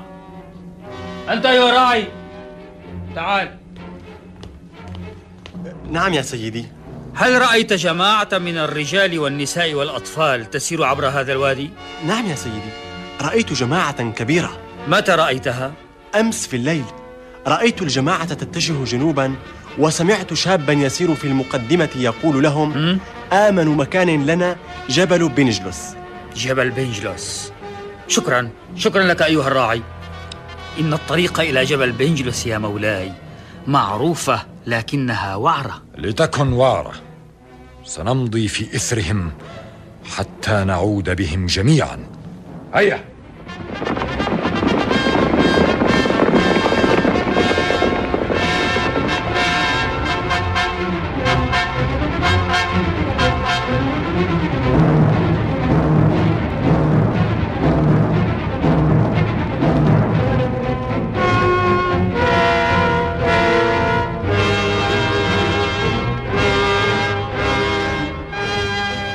الملك الطاغية دقيانوس في السير وراء الأمير يمليخا وأعوانه من المؤمنين حتى وصل مع جنده إلى حافة جبل بنجلوس.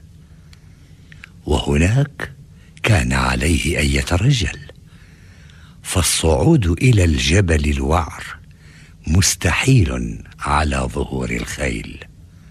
أما الأمير يمليخا وأعوانه فكانوا قد وصلوا إلى أعلى قمة في جبل بنجلوث. ها قد طلع النهار أيها الرجال. ولكن أين الكهف؟ إنه على مسافة ساعة. هيا إذن لنستجمع البقية الباقية من قوانا حتى نصل إلى ذلك الكهف. انظروا انظروا. أين؟ ألا ترون معي سحابة الغبار تلك التي في الأسفل؟ لابد أنهم جنود الطاغية وقد وصلوا السفح. لنسرع إذن في الذهاب إلى الكهف.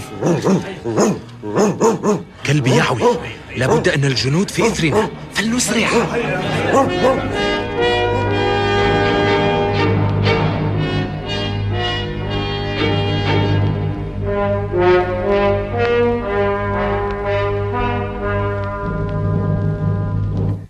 هل بلغتك أنباء أيتها الوصيفة؟ كلا كلا يا مولاتي أولم يعد أحد من جنودنا؟ بلى عادت كوكبة من الجنود على جناح السرعة وأخذت معها حبالا غليظة حبال؟ فيما الحبال أيتها الوصيفة؟ يقولون إن الأمير يمليخ وأعوانه قد صعدوا جبل بنجلوس وإن الجنود سيتسلقون الجبل وراءهم إن كان الأمر كذلك فقد باءت محاولتي بالفشل ولا بد أنهم سيعيدونهم إلى أفسوس وإلى الموت. لست أدري يا مولاتي إن كانوا يستطيعون ذلك فعلا. فجبل بنجلس وعر للغاية وفيه كهوف كبيرة يستطيعون الاختباء فيها. إنني لأرجو ذلك. أرجو أن ينجو يمليخ وجميع من معه.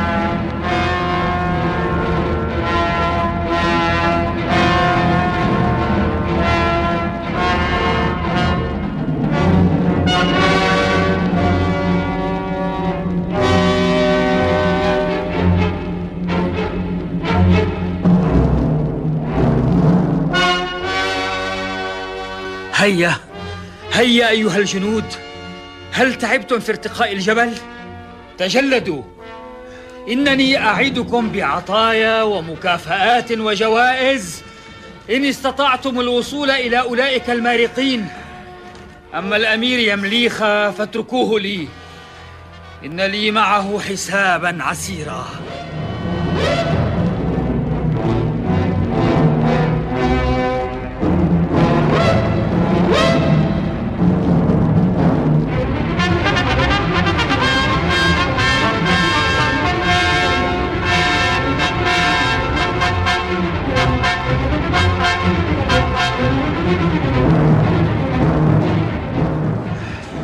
هذا هو الكهف أيها الأمير يمليخ. كلا لست أقصد هذا الكهف.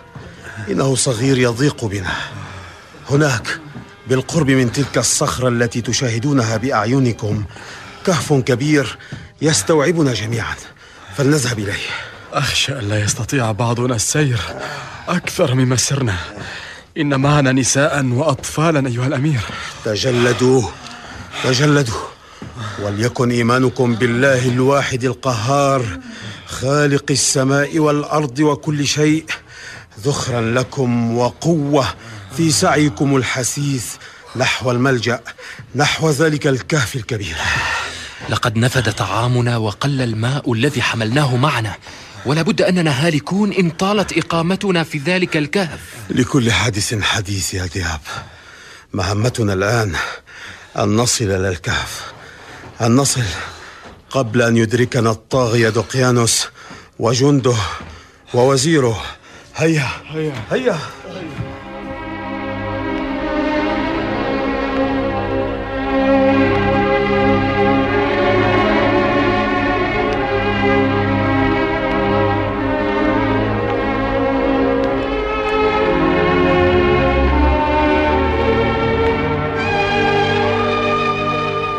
وسار الأمير يمليخا وأعوانه.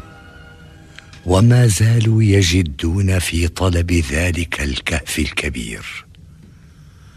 أما الطاغية دقيانوس فكان يصعد مع وزيره باركيوس وجنده الجبل. وليس لهم إلا هدف واحد أن يقبضوا على هؤلاء المؤمنين الذين يعبدون الله سبحانه وتعالى. ها قد وصلنا أخيرا إلى الكهف. إنه مظلم. يجب أن ندخله في الحال. اسمعوا أمسكوا أيدي بعضكم بعضا وأنتم تدخلون الكهف. استطاع الأمير يمليخا وأعوانه المؤمنون بالله. الرافضون ديانة مدينة أفسوس وبطش الملك الطاغية دقيانوس. استطاعوا الفرار من السجن قبل إعدامهم بقليل بمساعدة الأميرة بريسكا ابنة الطاغية.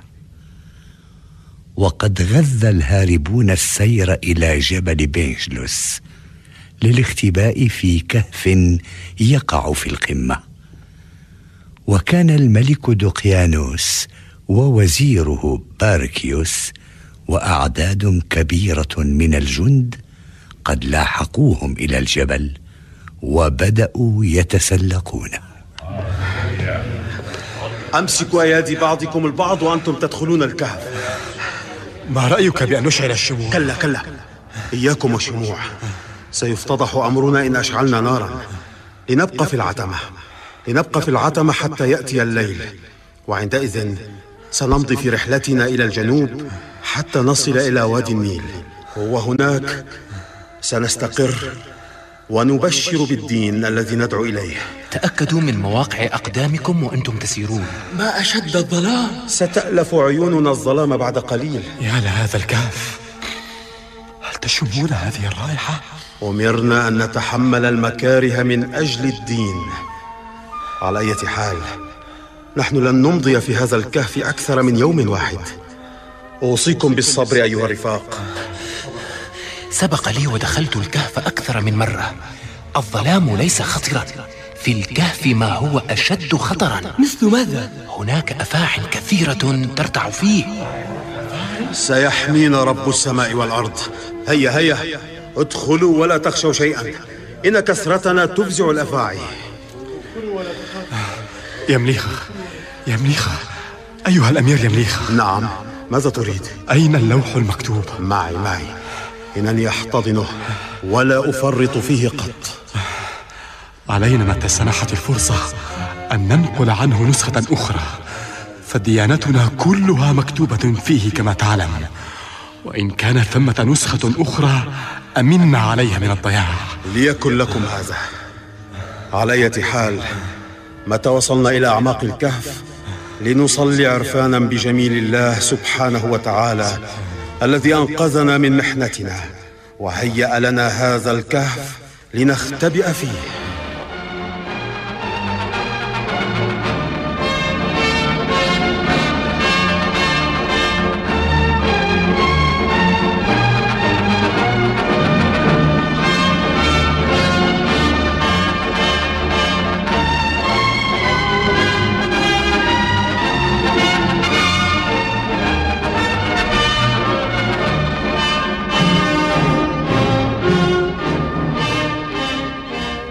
أين تقود هذه الآثار أيها الوزير باركيوس؟ إنها تقود إلى جميع الاتجاهات يا مولاي.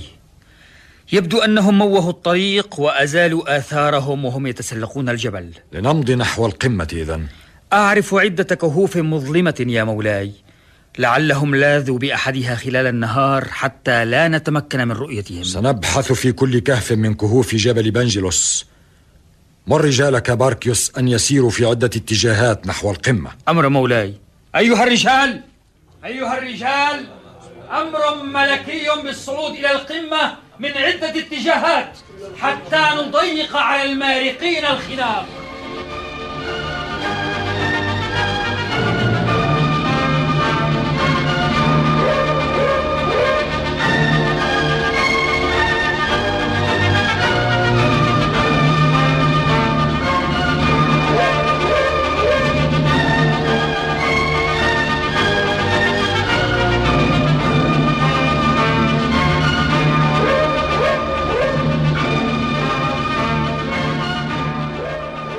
هل جاءت أنباء جديدة؟ كلا يا مولاتي. ما داموا لم يعودوا فإنهم لم يتمكنوا من القبض عليهم بعد. آه لو كنت أستطيع اللحاق بهم. مع هذه الحراسة المشددة يستحيل أن تخرجي من غرفتك يا مولاتي. لشد ما أنا نادمة. لو أنني سمعت صوت قلبي وذهبت مع الأمير يمليخة لكنت الآن لا تندمي يا مولاتي. لا ينفع الندم في ظرف كهذا.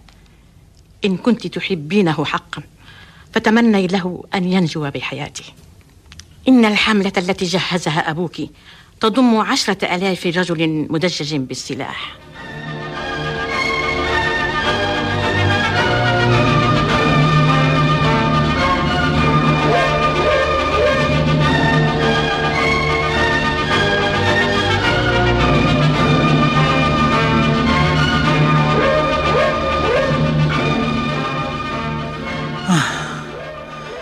هذا أحد كهوف القمة يا مولاي.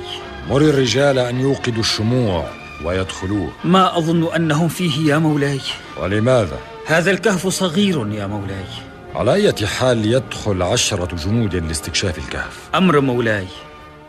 عليكم أنتم أيها الجنود أن تدخلوا هذا الكهف.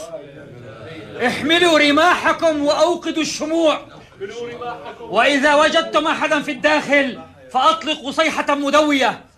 وعندئذ ستدخل كتيبة جنود وراءكم للقبض على يمليخ وأعوانه.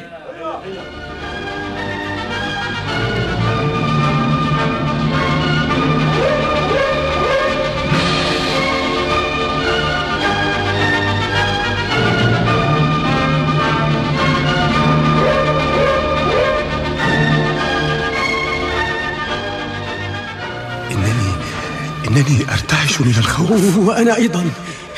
لا شك لا شك أن حيوانات كاسرة تقيم في هذا الكهف.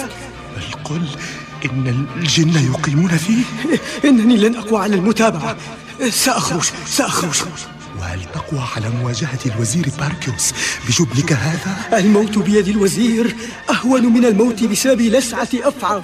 عودوا عودوا أيها الرجال. قلت لك الأوامر تقضي بالدخول إلى أعماق الكهف. وأنا أقول لك لنعود عودوا أيها الرجال عودوا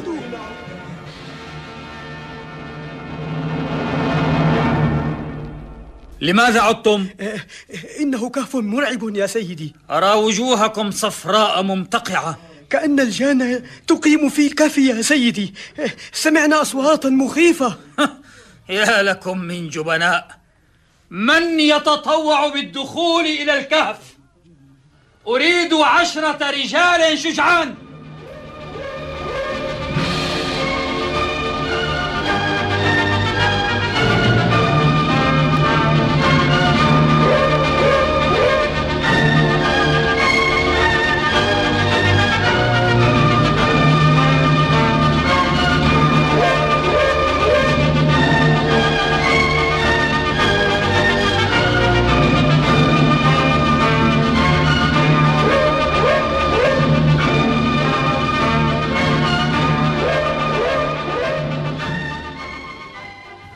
ودخل الجنود الكهف واشعلوا الشموع والمشاعل فرأوا هناك عددا كبيرا من الهياكل العظمية كما رأوا أفاعي وعقارب سامة.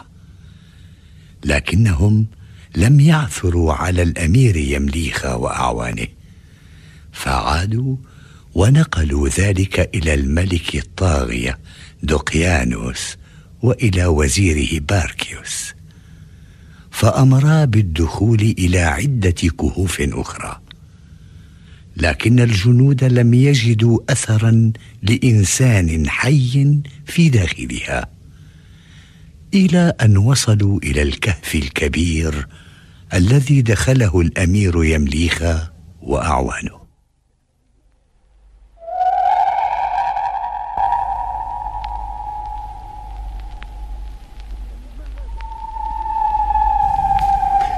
ما هذا؟ إن الرياح التي تخرج من الكهف تطفئ المشاعل. الدخول مستحيل في الظلام يا سيدي. سيغضب مولانا دقيانوس إن لم نبحث في هذا الكهف لقد بحثنا عنهم في جميع الكهوف الأخرى فلم نجدهم. ولست أشك في أنهم دخلوه.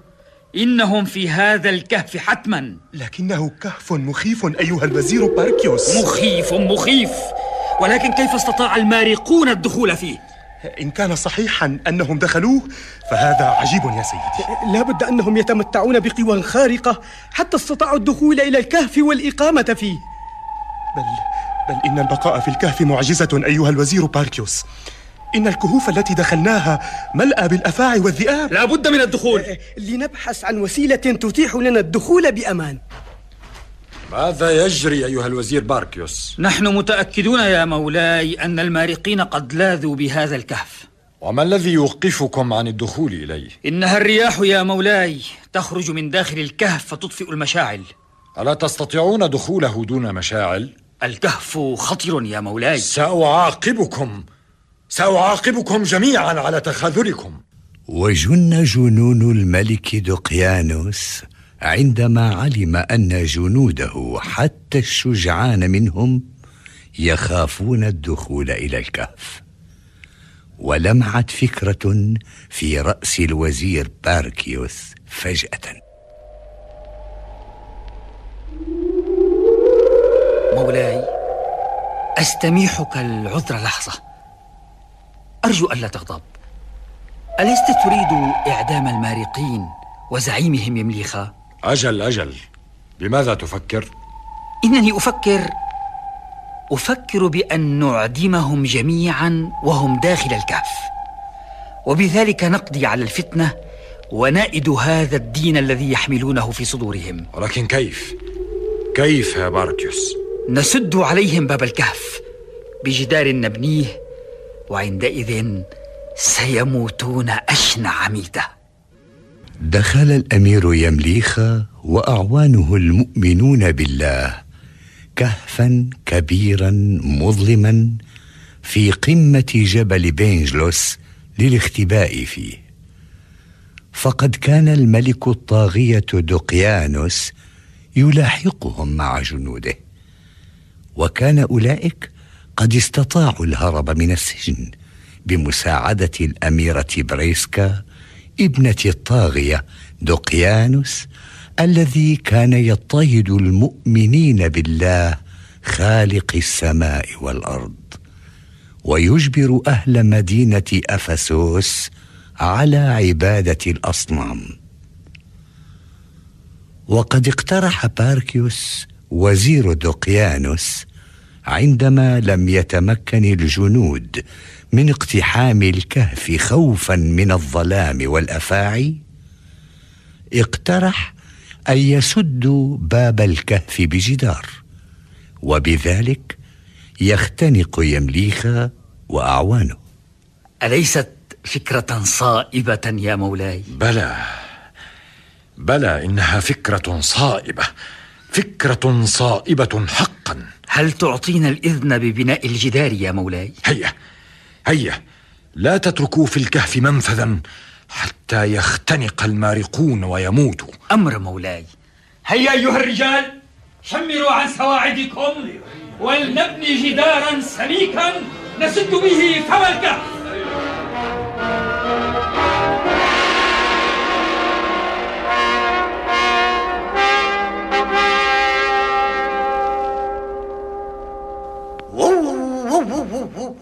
عن العواء هل تشعرون بما أشعر أيها الرفاق؟ ماذا تشعر؟ أشعر كأن دقيانوس وجنده قد وصلوا إلى فم الكهف. عواء الكلب يدل على ذلك. لماذا لا يدخلون إذن؟ أظن أنهم يخشون الدخول إلى هذا الكهف. على أي حال علينا أن ننتظر بعض الوقت قبل أن نمضي إلى فم الكهف لنتأكد من وجودهم هناك. ولكنني أخشى على رفاقنا أن يتعبهم الجوع والعطش. ما باليد حيلة. علينا أن نجالد ونصبر.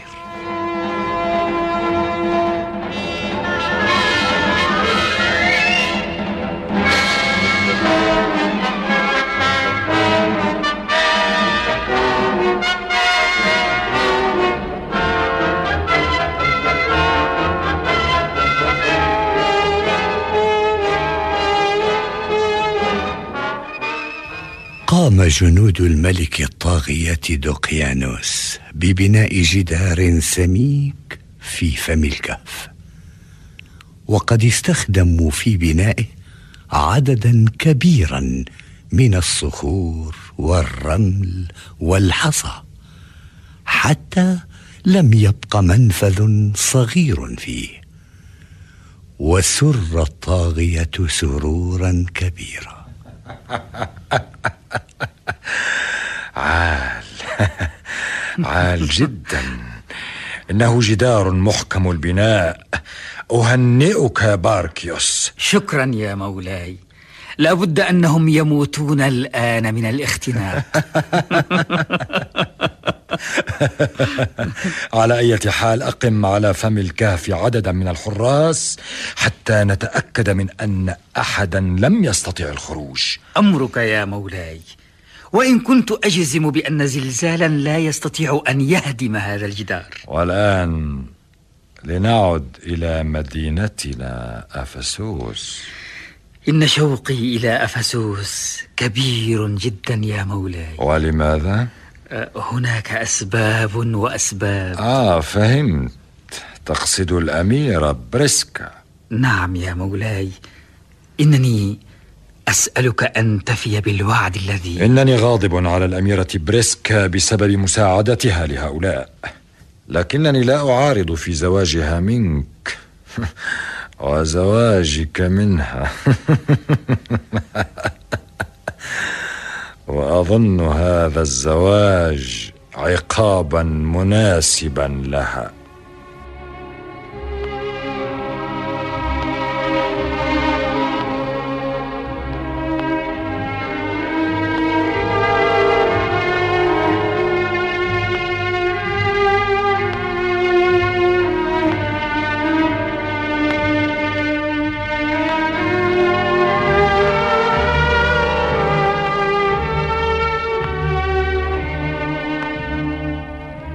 الأمير يمليخا وأعوانه في الكهف بعد دخولهم إليه وهم يصلون ويبتهلون. وكان في صلواتهم خشوع وإيمان وتعلق بالديانة التي نذروا أنفسهم لها. إنهم موحدون لا يشركون بالله خالق السماء والأرض أحدا. ولقد نادوا ربهم قائلين ربنا آتنا من لدنك رحمة وهيئ لنا من أمرنا رشدا. ولعل النوم قد غلبهم لطول صلواتهم. فقد سكنت الحركة في أعضائهم. فكأن خدرا لذيذا قد حط في دمائهم. لقد ناموا. ناموا وكانت عيونهم مفتوحة الأحداق وأجسامهم ساكنة. وها هو الأمير يمليخا وإلى جانبه الراعي ذياب والآخرون من الرجال والنساء والأطفال وقد تحجرت الصلوات على شفاههم. لقد أطبق الصمت على الكهف وتسلق الهدوء جدرانه بسم الله الرحمن الرحيم. ولبثوا في كهفهم ثلاثمائة سنين وازدادوا تسعا قل الله أعلم بما لبثوا. له غيب السماوات والأرض. أبصر به وأسمع ما لهم من دونه من ولي ولا يشرك في حكمه أحدا. صدق الله العظيم. وجاءت أجيال وأجيال وأهل الكهف يتقلبون على جنباتهم ذات اليمين وذات الشمال. كما يتقلب النائمون وهم لا يدرون. ونسي الناس في مدينة أفسوس أمرهم. ومات الملك الطاغية دقيانوس ومات وزيره باركيوس. وجاء بعده ملوك وأمراء وتبدلت معالم المدينة. وبقي فيها قلة يعبدون الأصنام. فقد انتشر الدين الذي يؤمن أصحابه بالله عز وجل خالق السماء والأرض. وظل أصحاب الكهف نياما بقدرة الله القدير إلى أن تهدم قسم من الكهف وانفتحت فيه فتحة صغيرة. دخل منها الهواء فأنعش المؤمنين وهبوا من نومهم جميعا في وقت واحد.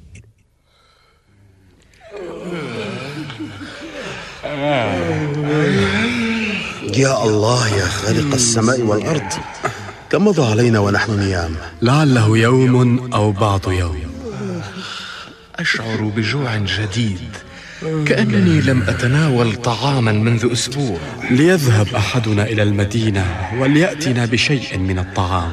أخشى إن ذهب أحدنا إلى المدينة أن يقتله جند الملك الطاغية دوقيانوس. لننتظر حتى يهبط المساء وعندئذ يذهب أحدنا فيأتينا بشيء من الطعام نسد به رمقنا. سأذهب بنفسي. إنني مشتاق إلى أفسس وما فيها. ومن فيها؟ أظنك مشتاقا إلى الأميرة بريسكا. مشتاق إليها أيضا. في ذهابك أيها الأمير يمليخ مجازفة. أنت معروف ولا بد أنهم يملؤون شعاب الجبل بحثا عنك. آه سأبادلك ملابسي يا ذئاب فإذا ارتديت ملابسك كنت راعيا ولم يشك بي. إن معي بعض النقود وسأشتري بها طعاما ودابة وأعود إليكم. هم؟ تعال يا ذئاب اخلع ملابسك وخذ ملابسي. ولكن ولكن هذه الثياب لا تليق بك أيها الأمير. إنما نحن أخوة يا ذئاب لا يفرق بيننا مظهر أو مبطن.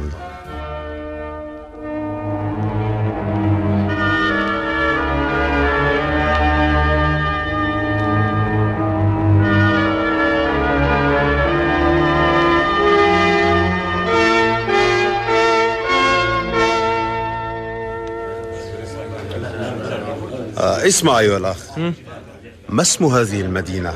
اسمها أفسوس هل أنت غريب؟ كلا ولكنني كنت غائبا عنها يبدو أنك غبت عنها طويلا كلا ولكن أه، حتى طراز ثيابك غريب أيها الرجل هل كنت في بلاد يرتدي فيها الناس مثل هذه الثياب؟ لا أدري شكرا على أي حال أريد أن أشتري شيئا من الطعام فأين أجد السوق؟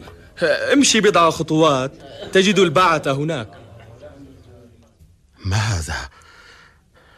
أنا في حلم؟ ما هذه الملابس؟ وهذه الوجوه؟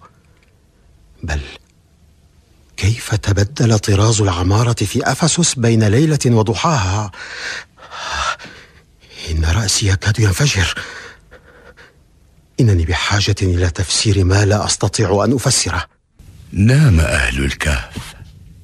في الكهف الذي التجأوا إليه هربا من بطش الملك الطاغية دوقيانوس الذي كان يريد أن يكرههم على عبادة أصنامه. ناموا فإذا بنومهم يطول ويطول ويمتد أكثر من ثلاثة قرون. أي ثلاثمائة سنة. وعندما أفاقوا لم يشعروا أنهم ناموا كل هذه المدة.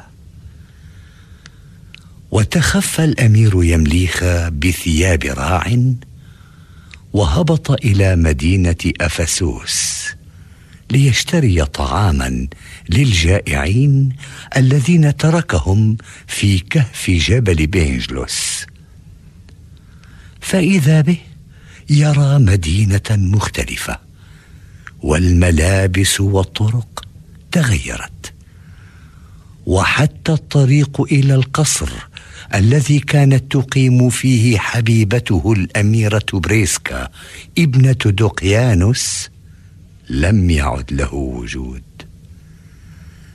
وتذكر يمليخا أن عليه شراء طعام للجائعين الذين تركهم في الكهف. أريد قطعة من الجبن وشيئا من الخبز إن سمحت أيها البائع. كما تريد. تفضل. هذه قطعة الجبن وهذه أرغفة الخبز. شكرا. خذ. هذه قطعة نقود. اقتطع منها الثمن ورد لي الباقي ما هذا؟ نقود إنها نقود. ما هذه النقود؟ إنني لم أرى في حياتي مثيلا لها. أمرك غريب.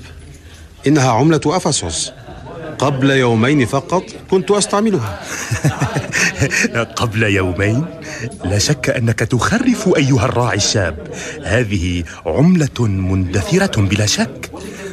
آه. لعلك عثرت عن كنز فيه نقود قديمة. كلا كلا. قلت لك إنني كنت أستعمل هذه النقود في أفسس قبل يومين لا أكثر. بلى بلى بلى. قل لي أليست هذه مدينة أفسس؟ كيف تتبدل عملتها خلال يومين؟ اسمح لي أن أتدخل. أرني هذه العملة أيها الراعي. جئت في وقتك أيها الشيخ. أنت أخبر الناس بالعملات المجهولة. آه، دعني أتفحصها. ها هذه عملة مدينتنا أفسس قبل ثلاثمائة سنة أيام الملك دقيانوس دقيانوس؟ الحقوه الحقوه. هرب الراحي الحقوه. أرجوكم. الحقوه. أرجوكم دعوني أذهب. ليس قبل أن تدلنا على هذا الكنز. أنا لا أعرف عما تتحدث. لا تعرف؟ نسلمك إذا إلى ملك أفسس. أرجوكم لا أريد أن أرى دقيانوس لا أريد أن أرى دقيانوس دقيانوس؟ ماذا تقول أيها الراعي؟ دقيانوس لملكنا اسم مختلف. ملكنا هو آريوس. دقيانوس مات منذ زمن بعيد. مات؟ أنتم أنتم تخدعوني. ماذا تقول؟ أرى أن نذهب به إلى الملك. هذا الرجل واحد من اثنين مجنون أو محتال.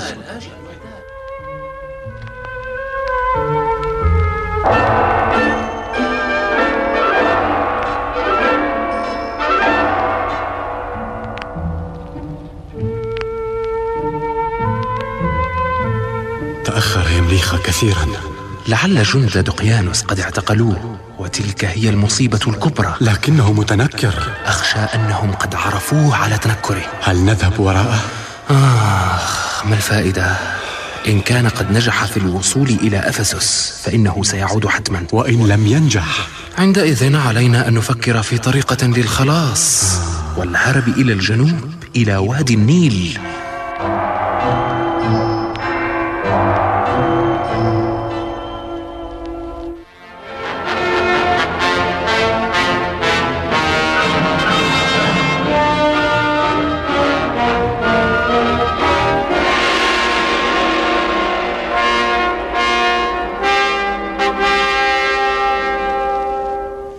بالباب رجل جليل وبائع ومعهما غريب. ليدخلوا. السلام, السلام على الملك أريوس. وعليكم السلام. ماذا وراءكم؟ مولاي هذا الراعي يا مولاي يحمل عملة قديمة. عملة الملك دقيانوس ملك أفسس منذ ثلاثمائة سنة. أكبر الظن يا مولاي أنه عثر على كنز. ولكن ولكن أين الملك دقيانوس؟ يقول لك إن دقيانوس كان منذ ثلاثمائة سنة فتقول أين الملك دقيانوس؟ لا تدعي الجنون أيها الراعي. لست أجده مجنونا يا مولاي. أجل لست مجنونا. دقيانوس مات منذ ثلاثمائة سنة وجاء بعده ملوك وملوك حتى ورثت أنا الملك. هيا أيها الراعي دلنا على الكنز وسيكون لك حصة فيه. ولكن ولكن ليس هناك كنز. كيف لا يكون هناك كنز؟ وهذه النقود الذهبية تعود إلى عهد الملك دقيانوس الذي مات. هيا هيا أيها الراعي. مولانا الملك يعطيك نصيبا من الكنز. لا تخشى بأسا يا بني. تكلم بحرية كما لو كنت تكلم أخاك الأكبر. الآن بدأت أفهم. ولكن ولكن أيمكن تصديق ذلك؟ هيا هيا اروي علينا كيف حصلت على قطعة النقود هذه. قبل أن أروي عليكم قصتي أريد أريد أن أسأل عن الأميرة بريسكا. الأميرة بريسكا؟ ليس في بلاطنا أميرات يحملن هذا الاسم. هذا عجيب عجيب. اروي قصتك أيها الراعي. بالأمس وربما قبل يومين لا أكثر هربنا من سجن قصر مدينة أفسس نفس هذه المدينة. وكان جند دقيانوس يلاحقوننا. والتجأنا إلى جبل بنجلوس وأقمنا في كهف مظلم. وعندما شعرنا بالجوع ألبسوني ثياب الرعيان وخرجت لأشتري طعاما لأصدقائي ورفاقي المؤمنين بالله الواحد أن نابذين عبادة الأصنام. فإذا بي فإذا بي أرى أفسس قد تبدلت. لا, لا شك أنني أحلم. بل أنت تحلم أكثر من اللازم. اسمح لي يا مولاي أريوس أن أتدخل. لا أرى فائدة من الحديث مع شاب كهذا يعتبر دقيانوس ملكا في زمن أنا فيه الملك. وراء هذا الشاب قصة مثيرة يا مولاي. أنا أعلم أن أفسس كانت تدين بديانة عبادة الأصنام في زمن الملك دقيانوس. قبل حوالي ثلاثمائة سنة وكان المؤمنون بالله الواحد من أمثالنا مضطهدين مطاردين ومن أين لك هذه المعلومات أيها الشيخ الجليل؟ من الكتب يا مولاي من الكتب. لقد فر قبل ثلاثمائة وتسع سنوات بالضبط قوم من المؤمنين بالله ولازوا بكهف في جبل بنجروس ولم يستطع جند دقيانوس العثور عليهم. يبدو أنك تعرف سرنا يا سيدي الشيخ. ولكن ما يدعو للعجب والدهشة مكوسكم في الجبل كل هذه المدة. لم نسمع أن أحدا في زماننا قد عمر ثلاثمائة سنة. هذا لا يصدق. ما يقوله هذا الشيخ الجليل صحيح يا مولاي. لزنا بالجبل رجالا ونساء وأطفالا واختبأنا بكهف مظلم ويبدو أننا نمنا. وها نحن قد صحونا من نومنا. هل نمتم ثلاثمائة سنة؟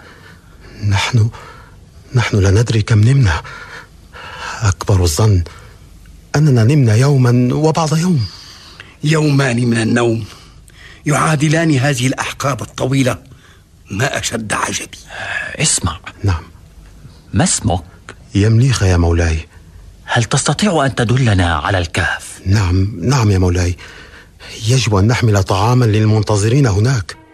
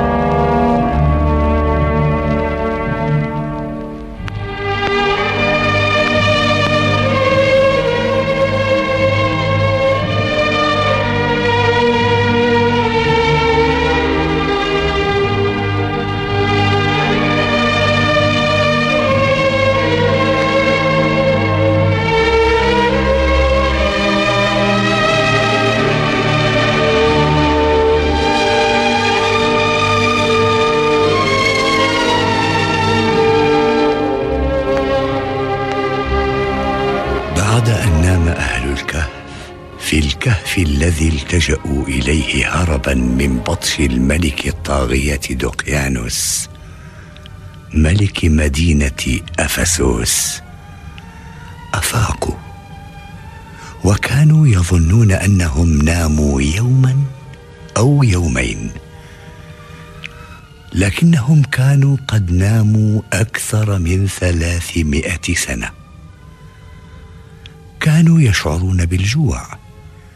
فأرسلوا زعيمهم الأمير يمليخا متنكرا بزي راع كي يحضر لهم طعاما وإذا به يرى مدينة أفسوس وقد تبدلت معالمها.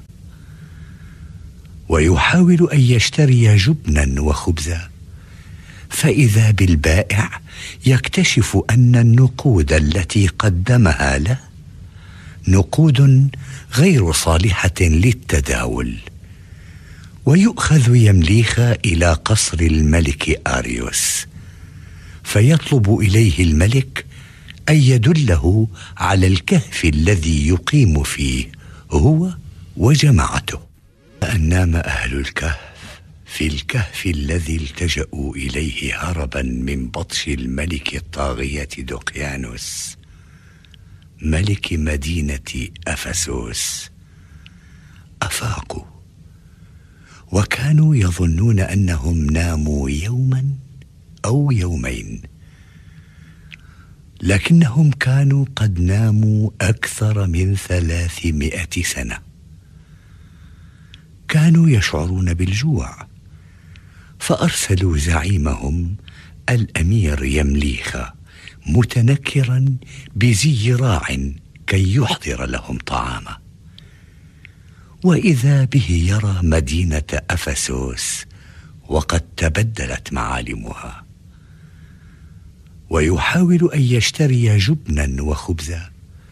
فإذا بالبائع يكتشف أن النقود التي قدمها له نقود غير صالحة للتداول. ويؤخذ يمليخا إلى قصر الملك آريوس فيطلب إليه الملك أن يدله على الكهف الذي يقيم فيه هو وجماعته. ماذا قلت؟ يمليخة يمليخة؟ نعم اسمي يمليخة أنا الأمير يمليخة أمير بثياب راع؟ تنكرت بثياب الراعي حتى لا يقبض علي جند دوقيانوس يمليخة يمليخة. لقد كان الأمير يمليخة زعيم أولئك المؤمنين الفارين من جبروت دقيانوس وبطشه. هكذا تخبرنا كتب التاريخ يا مولاي. عودوا إلى كتب التاريخ إذن لنتأكد من صحة الرواية.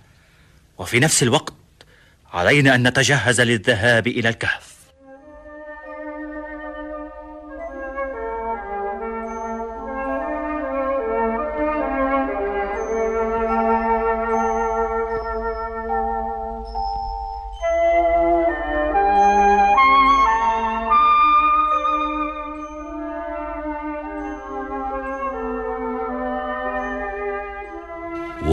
وعاد الملك آريوس وحاشيته إلى كتب التاريخ التي جلبها الشيخ الجليل.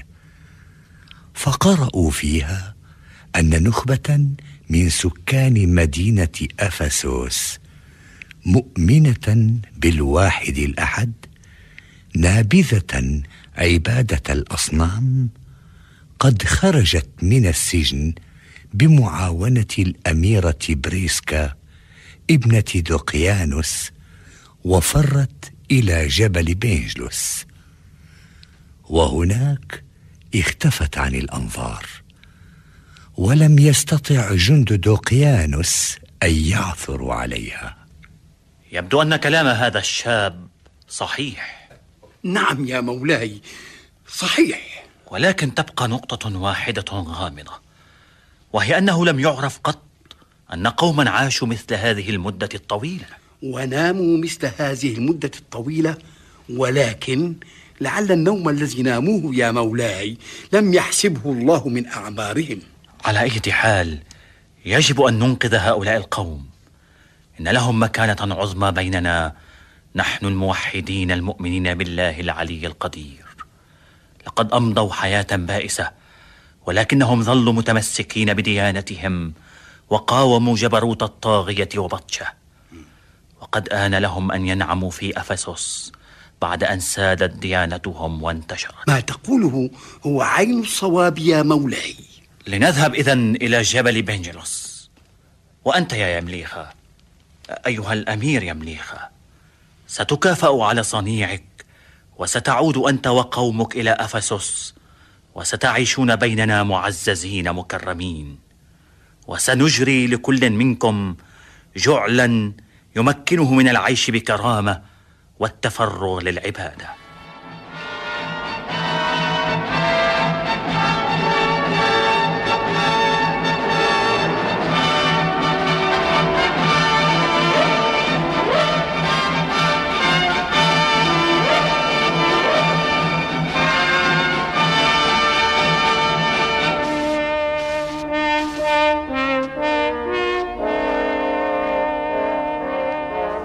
اصعدوا الجبل أيها الرجال. يمليخ نعم. هل نحن بعيدون أيها الأمير عن المكان؟ كلا يا مولاي. هل ترى هذه القمة هناك؟ إن قومي قابعون في كهف يتوسط القمة. لا شك أنكم بذلتم جهدا في صعود الجبل. نعم يا مولاي. على بعد فرسخين علينا أن نترجل. آه ليكن. إن شوقي شديد لرؤية قومك أيها الأمير. لا شك أن قومي سيفرحون. عندما يعلمون أن دوقيانوس الطاغية قد مات وأن ديانتنا قد عمت أفسس كلها. أفسس تنتظر لقاءكم. سيخرج شعبها كله لاستقبالكم.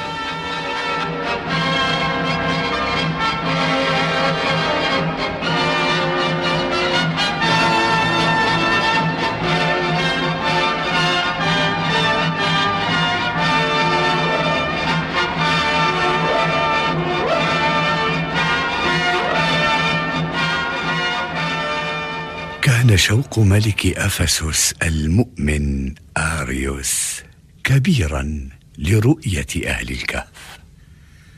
وكذلك كان يمليخا الذي طال غيابه عن رفاقه المنتظرين بجوعهم وعطشهم داخل الكهف. لقد تأخر كثيرا. سأخرج وراءه. لا لا أرجوك. يكفينا واحد ذهب ولم يعد. على أي حال لم نقطع الأمل من عودته. آخ ننتظر إذا حكم الله سبحانه وتعالى. لا إله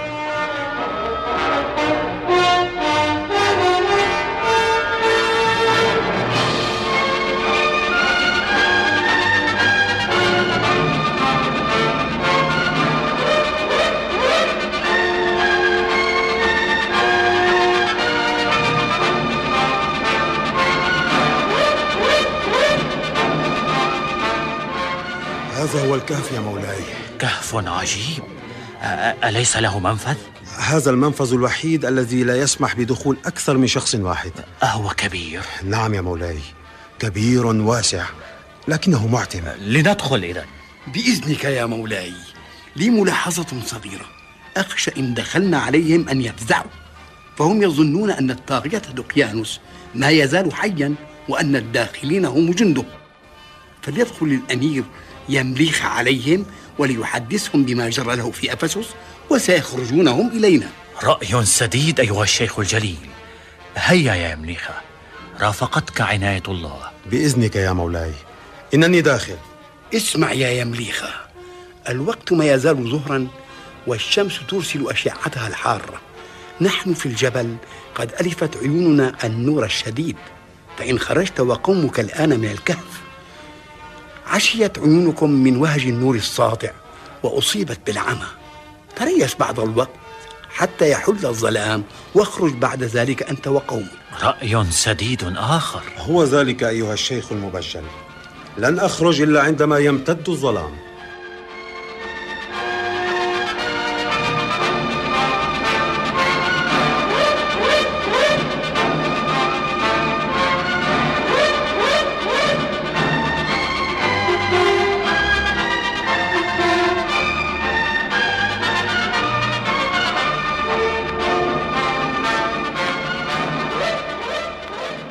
ودخل يمليخ الكهف وأحس الموجودون هناك بقدومه فهللوا واستبشروا خيرا. وصل يمليخة يمليخة حمدا لله على سلامتك. ماذا جرى لك؟ بشراكم أيها الرفاق. نرى ونسمع علائم السعادة في وجهك وصوتك. أبشروا. لقد مات دقيانوس. يتولى الحكم الآن الملك آريوس وهو ملك يدين بديننا. كيف مات دقيانوس بين ليلة وأخرى؟ ومن هذا آريوس حتى يتولى الحكم بعده؟ المفارقة العجيبة أيها الرفاق أننا نمنا في هذا الكهف ثلاثمائة وتسع سنوات. وليس يوما أو يومين كما كنا نظن. ثلاثمائة سنة؟ إن هذا لعجيب. عجيب. بل مذهل ولكنه الحقيقة. الحقيقة؟ أية حقيقة؟ رأيت أفسس وقد تبدلت. تبدل ناسها وتغيرت ثيابهم وأفكارهم. حتى الأصنام التي كانوا يعبدونها نبذت. إنهم يعبدون الآن الواحد الأحد. لقد انتصرنا وانتصرت ديانتنا. وكل ذلك بفضل تمسكنا بعقيدتنا وتشبثنا بالمبادئ التي آمنا بها. هيا هيا لنخرج لنخرج إذا. مهلا مهلا أيها الرفاق مهلا. مهلا أيها الرفاق المؤمنون مهلا. إن خرجتم الآن عشيت أبصاركم من وهج الشمس. انتظروا قليلا. انتظروا حتى يخيم الظلام. وعندئذ نخرج. إن آريوس الملك وحاشيته بل سكان أفسس كلها بانتظارنا.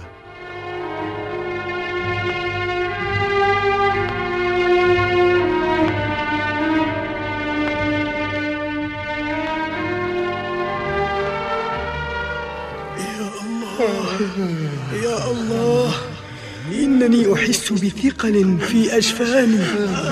وأنا أيضا. إنني لا أقوى على مغالبة النعاس إنني أتوق إلى أن أنام من جديد.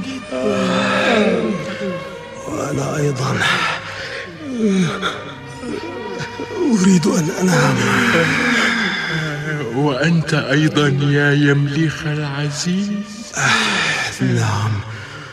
أنا أيضا. إلى اللقاء في الحلقة القادمة.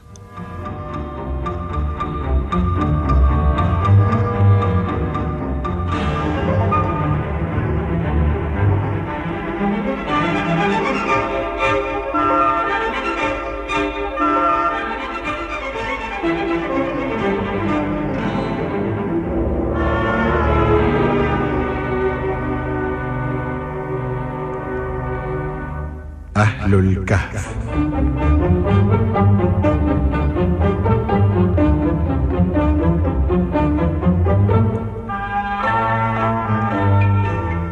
هندسة الصوت والمونتاج هيثم حسامي.